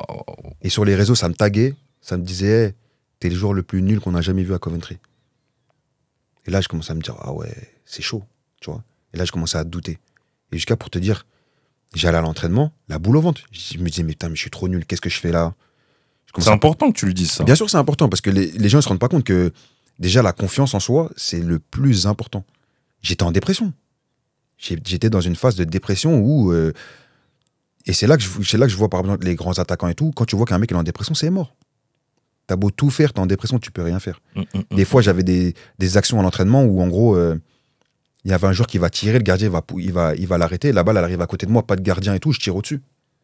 Ah ouais, ouais, ouais. ouais. Et après, tu fais la même chose en match. Mais à, mais à l'époque, tu t'es pas dit, bon, après, c'est devenu un peu à la mode aujourd'hui, mais consulter un psy, un prépa mental. À l'époque, non, parce que justement, comme tu as dit, c'est pas la mode. Ce qui m'a aidé déjà, c'est que j'avais dit à un pote à moi, Eh, prends mes réseaux, gère-les. J'ai dit, je veux plus rien voir. Donc j'ai arrêté de me mettre sur les réseaux. Et j'avais lu un livre, c'était euh, Le Secret. C'était sur la loi de l'attraction. Et en fait, ils expliquaient qu'en gros, si tu si avais des pensées négatives, eh ben, tout, tu, vas, tu vas attirer que le négatif. Mm, mm, mm, Donc il faut toujours avoir les pensées positives et, et tu vas voir que ça va aller. Et au bout d'un moment, je me suis dit, tu t'en fous des gens, tu fais, fais ce que tu as à faire et des pensées positives et ça va le faire. Et dès que j'ai commencé à faire ça, ça commençait à aller mieux. Mais par contre, à Coventry, la première, de, du, du mois d'août au mois de janvier, j'ai pas mis un but. Ce qui fait que, euh, comme je t'ai dit, quand tu gagnes des matchs, ça va. Quand tu gagnes pas, ils disent que c'est de ta faute. Et moi, comme j'étais un bosseur, et ben, nos, jours de, repos, c'était le mercredi. Le mercredi, j'allais à l'entraînement. Je faisais mes séances tout seul, je faisais mes séances, mes séances. Jusqu'au jour où le coach il est venu me voir, il m'a dit Hey, Qu'est-ce que tu fais? Je dit Mais coach, je joue pas, je marque pas, il faut que je bosse. Il m'a dit Hey, Toi, t'inquiète pas. Je m'en fous que tu marques pas. Il m'a dit Tant que tu, tu, tu cours, je veux que tu presses les défenseurs. Je veux que tu gagnes tous les duels aériens. Je veux que. Il m'a dit tous les, tous les matchs, je vais regarder si tu fais moins de 10 km par match, tu retournes sur le banc. Il m'a dit, je m'en fous, il y a d'autres joueurs qui vont être là pour marquer. Toi, je veux que tu fasses le sale boulot. Et après, à partir de ce moment-là, j'ai commencé à faire ça. Sauf un jour, en janvier, il a acheté un nouvel attaquant. Et euh, j'ai- là, je commençais à marquer. Et au bout d'un moment, il m'a mis sur le banc. Et je lui ai demandé pourquoi tu me mets sur le banc. Il me dit parce que tu marques pas assez. Ah ouais. Tu vois? Et du coup, bah, j'ai fait beaucoup de travail sur moi, euh, pensée positive. J'ai commencé à regarder. Parce que comme j'étais j'étais pas formé attaquant, j'ai dû switcher pour être égoïste, devoir marquer des buts, changer à je m'en fous qu'on qu'on gagne pas, je veux juste marquer. J'ai commencé à regarder des vidéos d'attaquants. Euh, je regardais des vidéos, je me rappelle avant les matchs, je regardais des vidéos d'Eto, je regardais des vidéos de Suarez. Quand mar- et c'est là que ça commençait à venir. Je commençais à marquer. Et en fait, de janvier à, à mai, j'ai mis 9 buts. Bien. Et au final, on fait les playoffs. Demi-finale des playoffs, match aller, on fait 0-0. Match retour, on gagne euh, 4-2, je crois. Je marque, doublé. Et au final, c'est là que le truc, il a switché. Jusqu'à on, va à Wembley- on joue à Wembley. Ah, On joue à Wembley, la finale. comment ça se passe, Wembley? Comment ça se passe? Wembley, gros. euh, Là, là, là, là aussi, euh, comme Arsenal, euh, beaucoup de gens t'ont demandé des places, tout ça? Ou hmm, non? pas forcément, parce que justement, en fait, je m'étais mis en mode off. Ah, ok. Comme je t'ai dit, ah, comme j'ai eu ma période de dépression, j'ai quitté tous les réseaux. Mhm. Je regardais plus les réseaux. Et en fait, quand les gens, ils, comme j'étais loin des gens, ils regardaient plus trop ce que je faisais. Mais même ton entourage, les gens, ils- quand ils ont su que tu joues à Wembley, ils t'ont pas envoyé de message pour avoir des places? Je Non suis pas sûr. Mais, mais même moi, en fait, ce que j'ai fait, c'est que j'ai dit à ma soeur, écoute, s'ils veulent des places, si, si tu entends des gens qui veulent des places, vois avec eux, je veux plus, je veux rien. Mm, mm, mm, Je veux pas avoir cette pression-là. J'ai dit, s'il faut payer, je paye. Mais laisse-moi en dehors de tout ça. Mais, euh, ouais, incroyable. Wembley, incroyable. Euh, T'arrives au stade, le stade, il est gigantesque. Il y avait ma famille. Je crois que c'est la première fois que mon père est venu me voir jouer. Il y avait ma mère. Et euh, c- 58 000 spectateurs. Le, stade, le match, il passe à la télé. J'avais une pression, mais incroyable. Incroyable. C'était contre qui le match? C'était contre Exeter. Ok. Et, euh, Pour la montée en troisième div. Ouais. et ça se passe très mal. Parce qu'au bout de trois minutes, je me blesse. Il y a un joueur qui me met un coup de genou euh, à côté de, la hanche là. Je pouvais plus courir.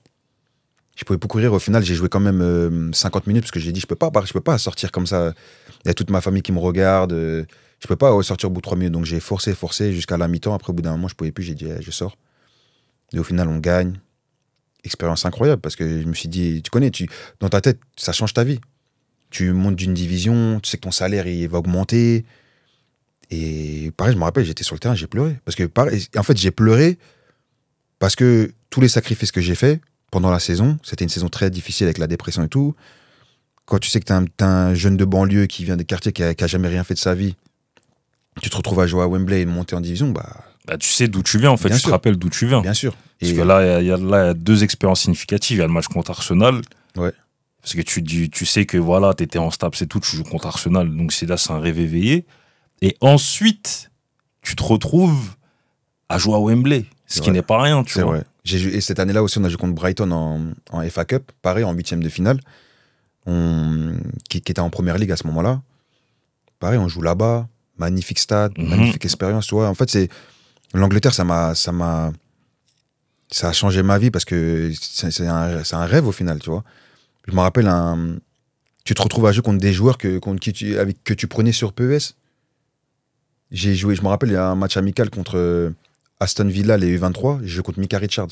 Et à l'époque, c'est le mec que je prenais à chaque fois quand je jouais à la, à la console, à PES. Quand tu faisais ton mode carrière, il y avait, il y avait- Mika Richards, c'était toujours un joueur où tu le prends, tu sais très bien qu'il va, il va percer et tout. Et je vois en défense centrale, je vois c'est Mika Richards, je fais oh, j'étais choqué. Il joue contre Brighton, des joueurs incroyables. Tu joues contre Arsenal, tu te dis mais jamais j'aurais j'aurais rêvé d'avoir cette vie là, tu vois. C'est pour ça que je te dis qu'au final j'étais déterminé, mais je m'attendais pas à tout ça en fait. Mm, mm, En fait, mm. je vivais au jour le jour, mais j'étais déterminé parce que voilà, j'étais motivé, j'étais ambitieux et tout, mais mon but c'était juste ça en fait, de tout donner. Ah bah écoute, c'est un beau témoignage. Pour revenir à Coventry, vous montez en troisième division. Mm. Et vous restez combien de temps en troisième division? On reste deux ans en, troisième division. En fait, là, Je crois que vous, vous montez pendant le Covid, je crois. ouais, en fait, ce qui s'est passé, bah déjà, quand l'année où on monte, le coach il me propose un nouveau contrat. Il me propose un nouveau contrat et euh, je signe le contrat au mois de, au mois de juillet. Au mois d'août, je me fais les croisés. Ah ouais, décidément. Ce qui fait que toute la saison, je joue pas. Et on avait une bonne équipe aussi à ce moment-là, mais on n'est pas monté à, je crois, à 5 points des playoffs. Et l'année d'après, je reviens. Et le coach, il me demande d'aller en prêt. Et je dis non. Je dis, j'ai pas envie d'aller en prêt et tout. Et il me met pendant presque deux mois avec le U23. Parce qu'il voulait absolument que je parte. Comme je voulais pas et tout, bah, il m'envoie avec le U23. ce qui fait que- sanctionné, ouais. Ouais, tu vois, et en gros, euh, je joue pendant deux mois avec le 23, mais en fait, c'est la période où, toute la période où j'étais blessé, ça a été une période d'apprentissage pour moi. C'est-à-dire que je commençais à regarder les autres attaquants, je regarde, j'allais voir les matchs, et c'est là que je dis qu'en fait, ma vision du football, elle a changé, même quand je regarde les matchs. Maintenant, j'ai un regard de tacticien. Mm, mm, Je mm. regarde vraiment les déplacements des joueurs, les déplacements des attaquants et tout. Et j'allais voir, Anthony, voir Anthony Martial, parce que en fait, son, son grand frère, c'est un, un bon ami à moi. Donc, des fois, j'allais à Manchester, je regardais les déplacements d'Anthony. Dès que j'allais voir des matchs, je regardais les déplacements des attaquants. Je commençais à regarder les déplacements de Benzema. Je dis, ah, mais attends, lui, comment c'est qu'il fait ça? Ça marche et tout? Attends, je vais essayer à l'entraînement. Et je vois, ça marche. Je fais, ah, mais c'est ça, en fait. Et en fait, là, j'ai commencé à être bon devant les cages. Parce qu'avant, comme j'étais pas formé attaquant, j'étais archi nul devant les cages. J'étais le plus nul. Quand je te dis, j'étais le. Partout où j'étais, même en N3, N2, j'étais le plus nul devant les cages. Et au final, j'ai commencé à, à apprendre. J'ai dit, mais en fait, c'est ça. Et bam, je vois que ça marche, ça marche. Je commence à être fort devant les cages. Et là, je commence à marquer. C'est-à-dire que je vais avec les 23, je fais 9 matchs, 10 buts. Mais au bout d'un moment, le coach il était obligé de, de, Bah de- oui, de me bah remettre, oui, tu vois. bah oui. Et au final, l'attaquant numéro 1, il se blesse. Et là, le coach, il, il me, il, me ram- il me remet avec l'équipe première. Et euh, au début, il me met sur le banc. Et après, il commence à me faire jouer. Je commence à marcher, à marquer. Et au final, je fais une très bonne saison et on monte en, en championship. En plus, vous, vous avez, je crois qu'il y, a- il y a eu l'arrêt, je crois février-mars, il y a l'arrêt. Ouais. Et après, ils décident de, par rapport au classement, savoir ça. qui. Mais là, tu viens de dire, tu signes ton nouveau contrat, tu te blesses. Ouais. Mais là, t'expliques que ça t'a permis de voir euh, le football autrement. Ouais. C'est-à-dire que, est-ce qu'on peut dire que c'était un mal pour un bien au Ah, final clairement. Parce que ça t'a permis d'avoir un recul de la Ah, hauteur. clairement. Parce que je pense, pense justement que si j'avais pas été blessé, j'aurais pas fait ce, ce travail-là d'apprentissage. Mhm. et j'aurais pas été le même joueur. Mais c'est cette année-là où j'ai été blessé que j'ai bossé énormément en dehors du terrain pour voir les déplacements et tout. Et c'est ça qui m'a aidé, clairement. Ok. Et après, justement, vous montez en Championship, donc la deuxième division, l'antichambre de la Première Ligue. Donc là, tu touches un peu du doigt à la Première Ligue. Comment ça se passe pour toi? Au début, ça se passe très mal encore. En fait, moi, toutes mes, dé- mes débuts de saison à Coventry, ils se sont toujours passés mal. Parce que le coach, il voulait que je parte. Et euh, au final. euh, Là, là c'est pas en prêt. Là, il voulait que tu partes. ouais, là, il voulait que je parte. Il Mais il t'a pas dit pourquoi Non. En fait, euh, C'est le, même coach depuis la quatrième division ça. qui te disait je veux ça, je veux ci. Ouais. là, il te dit prêt, maintenant c'est départ. Ouais, il me dit, il me dit de partir. En fait, il me dit, il me dit parce qu'en fait tous les ans, il ramenait un attaquant qui payait peut-être, il, a- il achetait un million. Mm, Moi, mm, ils m'ont acheté, je crois, 50 000 euh, livres. Tu vois, c'est rien, c'est gratuit en fait. Et chaque année, il ramenait un attaquant un million. Donc faut qu'il. Après, c'est du business, faut qu'il joue. Tu Ouais, vois, ouais, bien comprends. sûr, bien sûr. Et euh, moi, en Ligue 1, au final, je fais une bonne saison. Je mets, euh, en étant remplaçant, parce que moi, je jouais que quand l'attaquant numéro 1 il était blessé. Je mets 11 buts. Lui, il en avait mis 15, mais au final, le but par match, j'étais à un but tous les 100 minutes, presque tous les matchs, je mettais un but, tu vois. Donc j'étais moi, au final, qui était le plus prolifique des attaquants. Et en fait, le coach, il vient me voir, il me dit, bah, là, je vais, je vais, ramener encore un nouvel attaquant, euh, je peux pas te promettre du temps de jeu, il faut que tu partes, tu vois. Moi, je lui dis, je vais y réfléchir et tout. Et au final, là, il me remet avec les 23. Donc moi, je commence à me poser des questions et tout, nanana. Mais au final, je vais avec les 23, je marque. Après, il me fait jouer en Carabao Cup. Il me met remplaçant, il met les deux autres attaquants. Je rentre, je marque. Ce qui fait que deux jours après, il m'appelle dans son bureau. Moi, je me dis, ah, c'est bon, peut-être il va me dire, euh, Max, c'est bon, tu, je te garde avec moi. Et après, là, il me dit, euh, non, il faut absolument que tu partes. Ça n'a aucun sens. Donc moi je lui ai dit en gros bah pourquoi? Il me dit bah c'est comme ça, c'est tout. Donc moi je lui ai dit bah moi si je trouve pas un, un truc qui me plaît sportivement et financièrement, je pars pas. Il m'a dit ouais bah tu vas avec les 23. Donc moi après je suis parti avec les je suis parti avec les 23 et au final euh, Et comment tu le vis ça? Je le vis mal parce que en fait comme je t'ai dit moi j'étais dans un but euh, tu vois j'étais toujours dans mon optique euh, un peu euh, la méritocratie tu vois. Et pour moi je méritais pas ça tu vois. C'est comme si tu redoublais tu viens tu fais une bonne ouais, saison ouais, et on te dit de partir alors que t'as fait le taf tu vois. Donc euh, moi j'acceptais pas ça. Mais c'est pour ça que j'ai toujours été silencieux j'ai bossé dans mon coin et, et au final au bout d'un moment il m'a rappelé tu vois. Il m'a rappelé parce que j'étais motivé et, en- et au final tu tu sais, il y a plein. Et c'est ça que je reproche à certains jeunes aujourd'hui, c'est que quand ils n'ont pas ce qu'ils ce qu'ils- ce qu'ils ont, ils boudent. Alors que moi, justement, bah, je donnais tout. En fait, je donnais pas des, des balles pour me faire tirer dessus. Exact. Tu vois Mm, mm. Même le coach des U23 il m'a toujours dit, mais moi, ce que j'aime avec toi, c'est que quand tu viens et tu descends avec nous, tu donnes tout. Là, t'es- tu restes pro. Tu restes pro, tu, euh, tu motives les jeunes, tu leur dis quoi faire, et tu marques, tu es performant. Et elle m'a dit, alors que les autres joueurs, quand ils descendent, Ils boudent. Ouais, ils n'ont pas envie de jouer. Mhm. il marche sur le terrain et tout. Mais ça, tu donnes des balles pour te faire, ti- pour te faire tirer dessus par le coach. Comme ça, le coach va dire Ah, mais c'est pour ça que je le mets là-bas, tu vois. Alors que moi, justement, je, je lui mettais des, des contraintes. Il va dire Ah. Parce qu'après, les journalistes, ils vont le voir, ils vont lui dire Ouais, mais Ouais, bien sûr. pourquoi tu fais pas jouer Maxime, il est là, tu vois? Sûr. faut, faut pas donner des balles au coach, faut, faut, faut tout donner.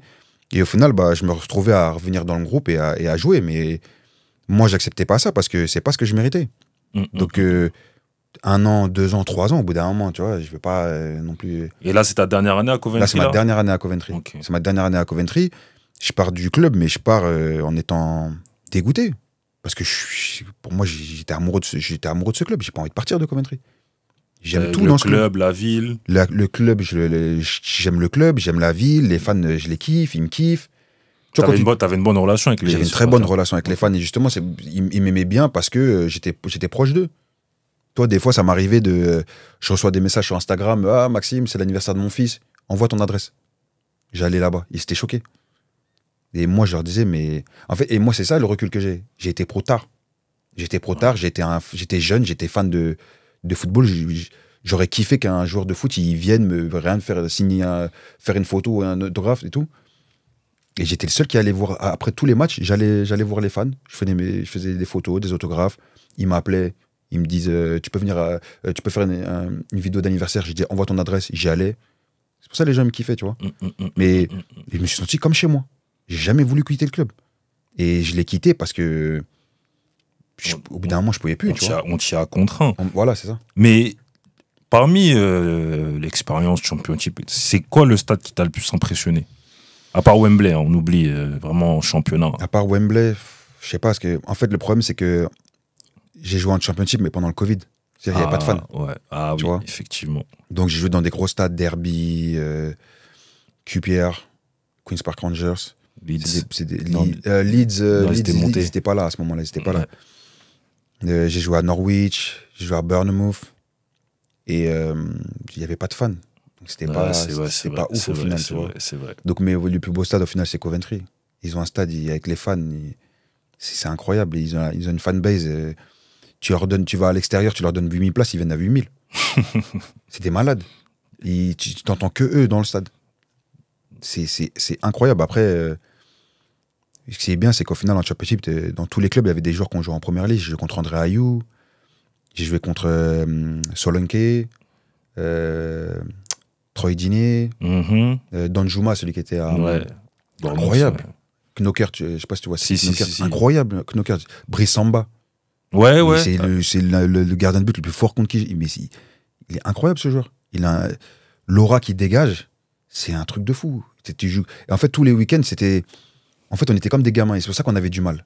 C'est que en, en, en Ligue 1, on a roulé sur le championnat. Dans toute la saison, on a perdu, je crois, trois matchs. On arrive en Championship. En six matchs, on avait perdu trois matchs déjà. On- tous les, tous les week-ends, on voit sur la feuille de match des joueurs qu'on joue en première ligue. On était tous en, en mode. Comme des petits enfants, mais on était tous stressés, tu vois. Mais c'est un- le gap entre Ligue 1 et Championship, il est énorme. Et le gap entre Championship et Première Ligue, c'est encore, encore pire. Mm, mm, mm, Parce que les- l'année où on joue en Championship, l'équipe qui finit premier, ils jouent contre nous comme si on était des enfants. Ils vont, ils vont en Première Ligue, ils finissent dernier. C'était. Il y avait Norwich, Norwich, Brentford et Watford. c'est ça.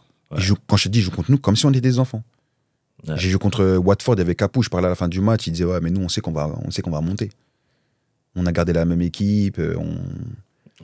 et euh, ils sont montés, mais l'année d'après, ils sont redescendus. Je crois les trois, ils sont redescendus. Non, Brentford. Il n'y a ils que restés. Brentford, voilà. Norwich et Watford, Ouais, ils sont descendus.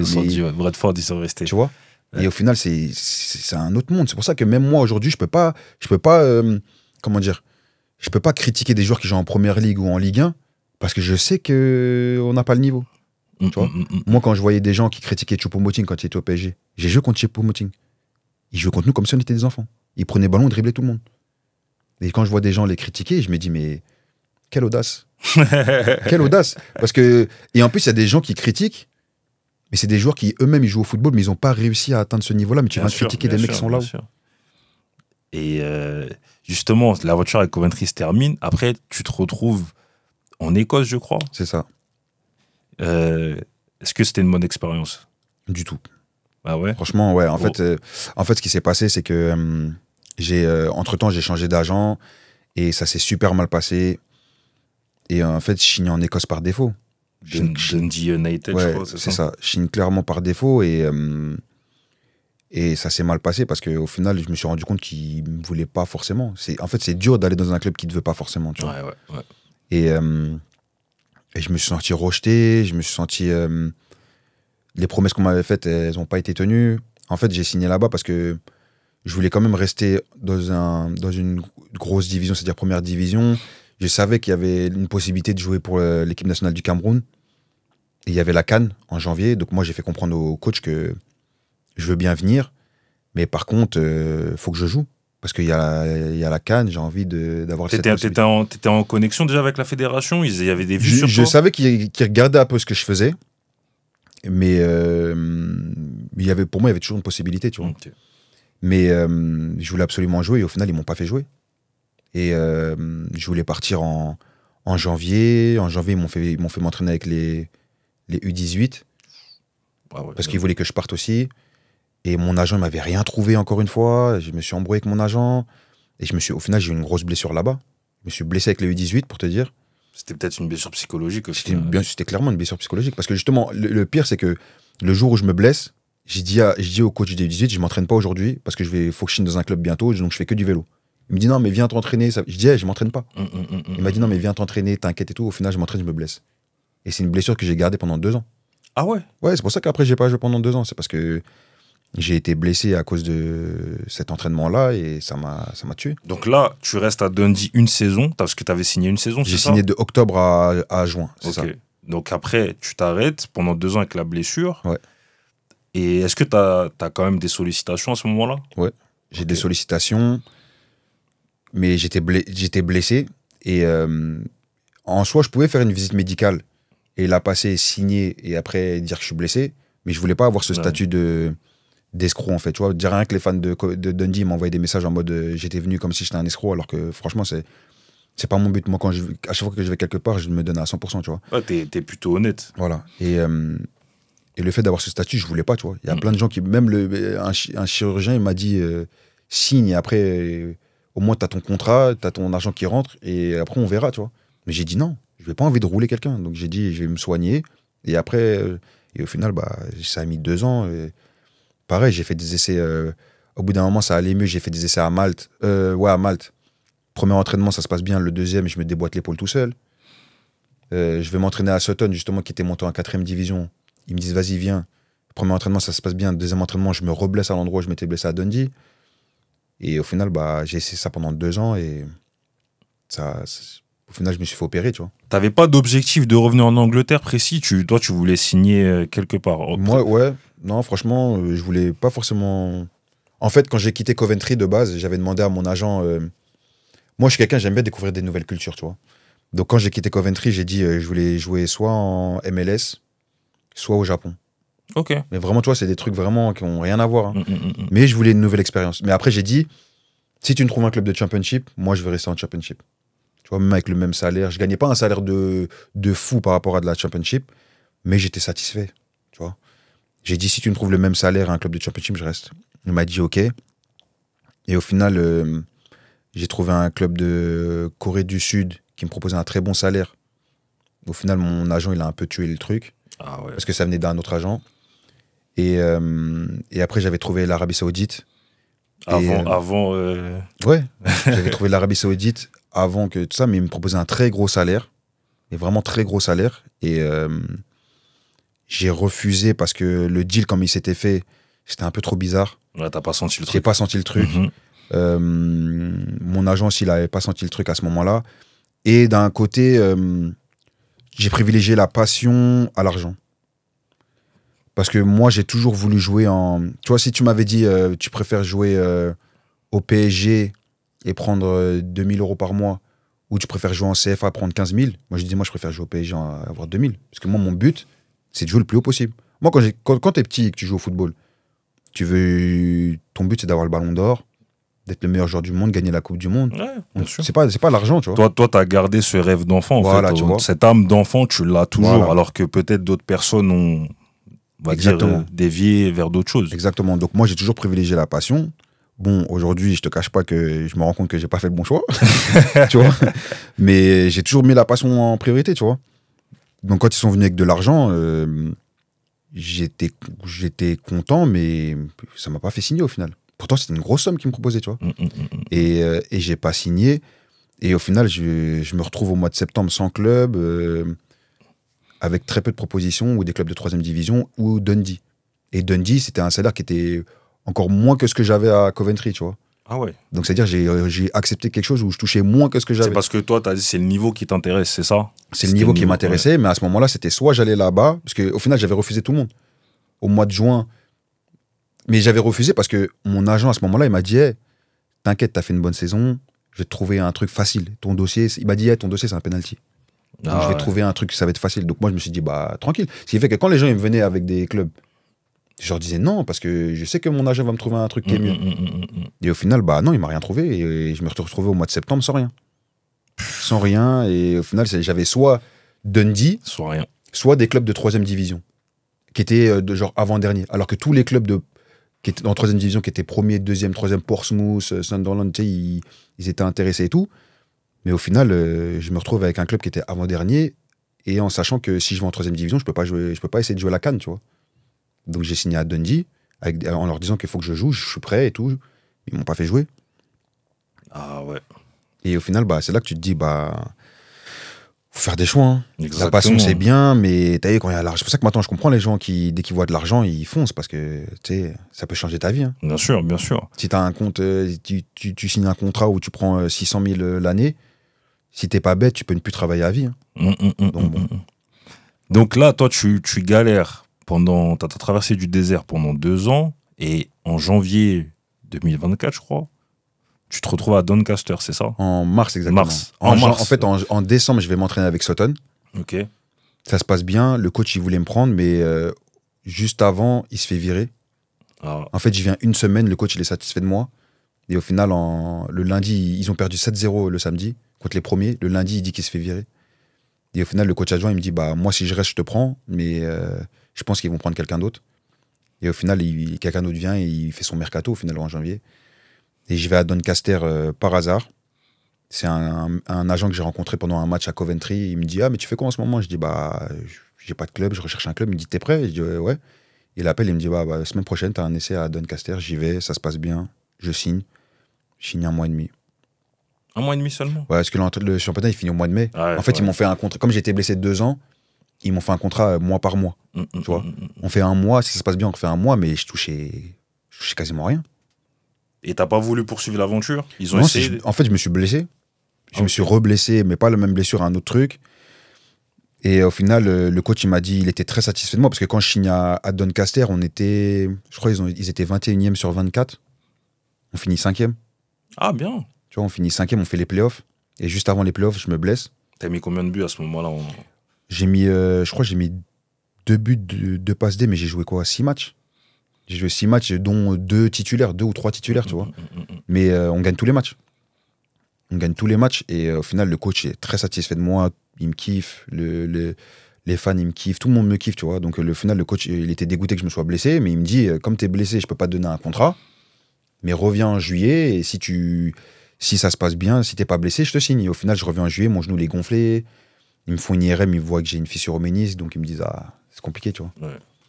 Donc je, je, je vois. Mais là, on a retracé ton parcours. Mais si tu prends du recul, est-ce que t'es- tu te rends compte en fait de quand même la trajectoire que tu as, que as pu avoir? Parce que je le dis comme ça, parce qu'en fait, il y a des joueurs qui sont passés par des centres de formation, Clairefontaine ou autres, qui n'ont qui ne connaîtront pas ou qui n'ont pas connu toi le niveau que toi tu as pu connaître. Mm.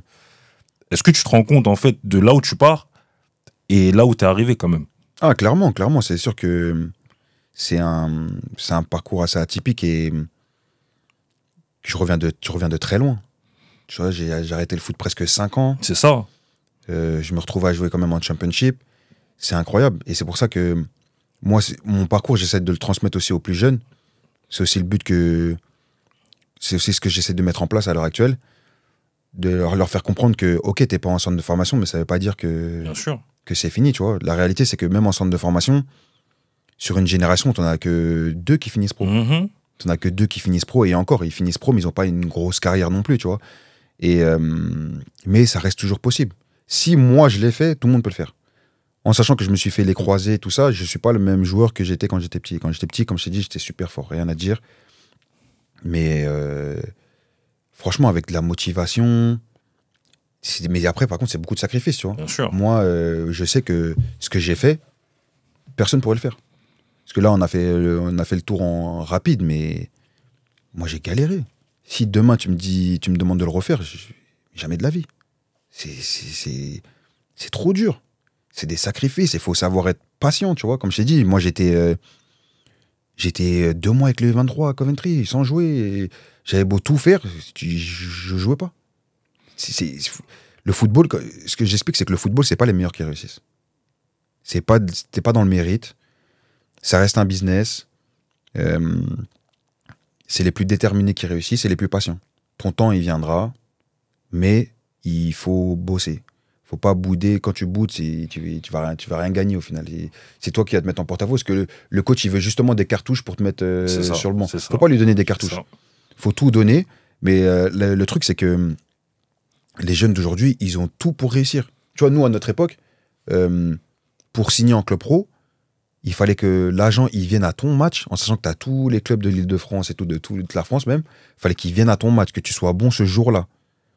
Après, il fallait qu'il revienne, que tu sois bon, qu'il ramène encore d'autres personnes du club qui voient que tu es bon.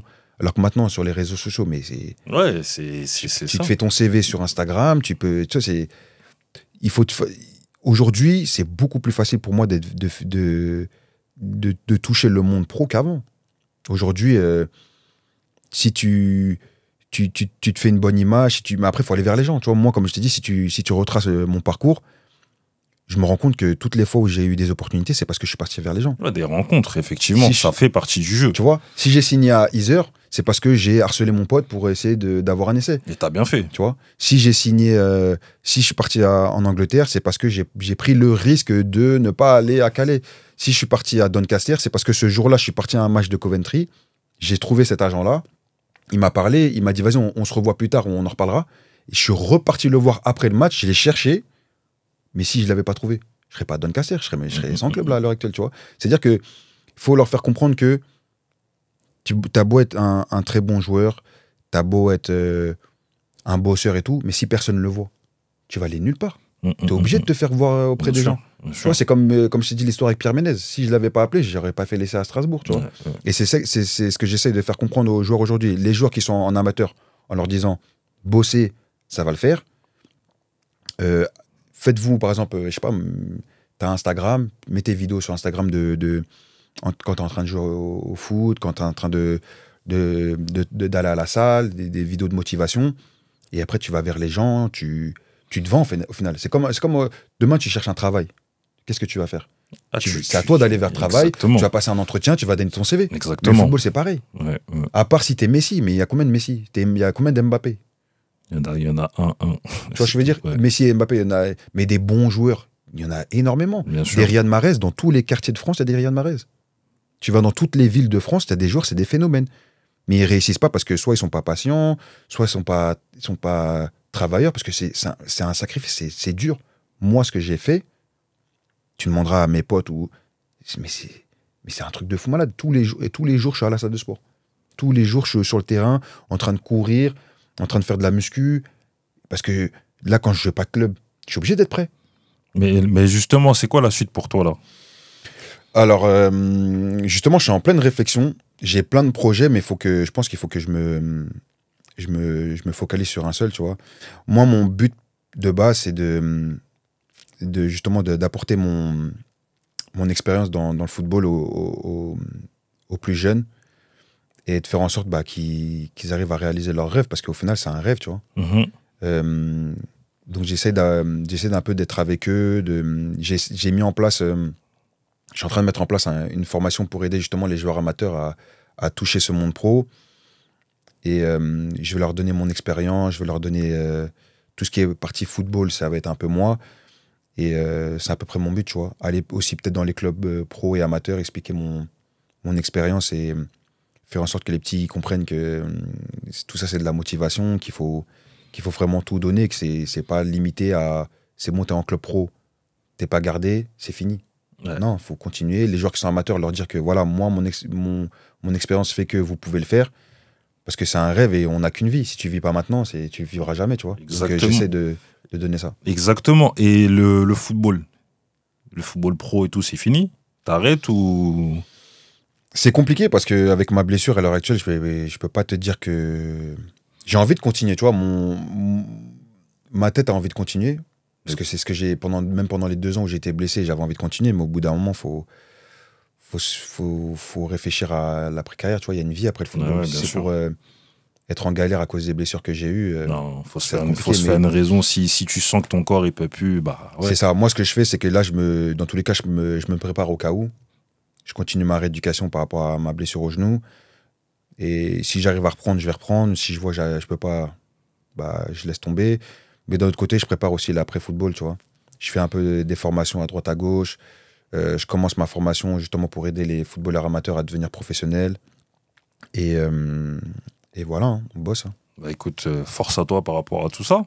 Ah, merci. Euh, Maxime, rubrique lecture. Est-ce que tu peux me recommander, enfin nous recommander, nous recommander trois livres s'il te plaît? Alors, je vais donner des livres en rapport avec le football. Comme tu veux. Hmm. Il y a un livre qui s'appelle euh, Les entraîneurs révolutionnaires du football que j'ai lu, qui était vraiment intéressant, qui, qui te faisait comprendre un peu l'évolution du football et comment certains entraîneurs sont venus avec leur tactique et ont révolutionné tout ça. Après, euh, il y a des livres. euh, moi, je lis beaucoup de livres sur le développement personnel. Moi, mon livre que j'ai, le livre que j'ai vraiment apprécié, c'est euh, L'alchimiste. Paulo Coelho. Paulo Coelho, que j'ai lu récemment. Franchement, c'est vraiment pas mal parce que ça. Il y a une importance qui, qui te donne euh, sur le fait de créer sa légende personnelle, Exact. ce qui est, qui est quelque chose pour moi de, de très important. Après, si j'ai d'autres livres à conseiller, bah, Un dernier au moins. un dernier. Ouais. Après, c'est différent, tu vois. euh, Ah non, vas-y. C'est hein. compliqué parce que moi, c'est des livres que j'ai. Il y, a- il y a soit des livres que j'ai aimés, mais qui n'ont rien à voir avec mon expérience. Ah, mais là, c'est open Si- bar. Si c'est- si c'est si c'est par rapport à, à mon expérience, je dirais euh, j'ai j'ai aimé euh, Père riche Père pauvre Ok. parce que ça t'ouvre aussi les yeux sur euh, le fait de voilà d'aller vers les formations, de, de te donner une éducation financière et euh, un livre euh, un livre bonus que je dirais c'est pour aider les gens dans leur vie en, en général, c'est les cinq langages de l'amour. Ok. C'est très personnel, mais franchement c'est extraordinaire. Ok. Bah écoute, tradition ici, c'est que l'autre parte avec un livre. Donc j'ai un livre pour toi, Ok, très bien. en espérant que tu ne l'aies pas déjà. Ah. Tiens. Est-ce que tu peux l'ouvrir devant la caméra maintenant et-. Ouais, et lire le titre, s'il te plaît. Ok.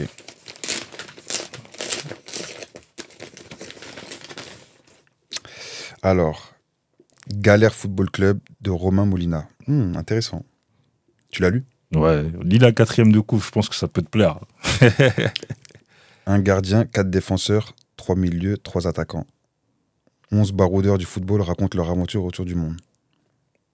Ouais, ça peut être pas mal, hein, franchement. Peut vraiment être pas mal. Bah, merci en tout cas. Bah écoute, je t'en prie, hein. Bonne lecture à toi. Merci. Et euh, j'ai deux dernières questions. Euh, Mohamed Ali disait euh, qu'il voulait qu'on se souvienne de lui comme étant champion du monde poids lourd. Quelqu'un de gentil, de drôle. Je te pose la question, comment t'aimerais qu'on se souvienne de toi? Franchement, c'est vrai que quelqu'un de gentil et drôle, c'est vraiment important. Et euh, non, qu'on. Moi, comme j'ai dit, faut. Faut, faut créer sa légende personnelle, tu vois. Et euh, non, moi, comme j'ai dit, hein, quand tu vas quelque part, faut vraiment créer sa légende, tu vois. C'est-à-dire que moi, à Coventry, les gens. Il y a certains qui m'appellent légende, certains qui, qui pensent pas que je sois une légende, mais le plus important, c'est que partout où tu vas, tu donnes une bonne image et, euh, et qu'on te reconnaisse dans le temps, tu vois. Je pense que c'est ce qui s'est passé à, à Coventry et je pense que c'est, c'est le minimum qu'on, puisse faire dans ce monde. Je pense qu'on n'est on n'est pas là de...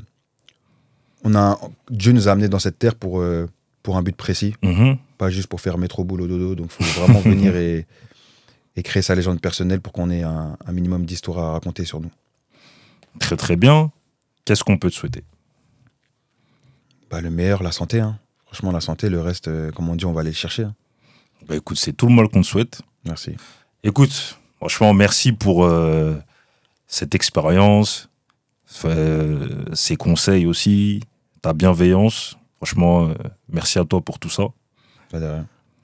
C'était Cosmonaute, l'émission qui prône la vulgarisation et la transmission pour l'élévation. En espérant que vous avez pris des choses éventuellement sur vous-même. Prenez soin de vous et des vôtres. À très bientôt.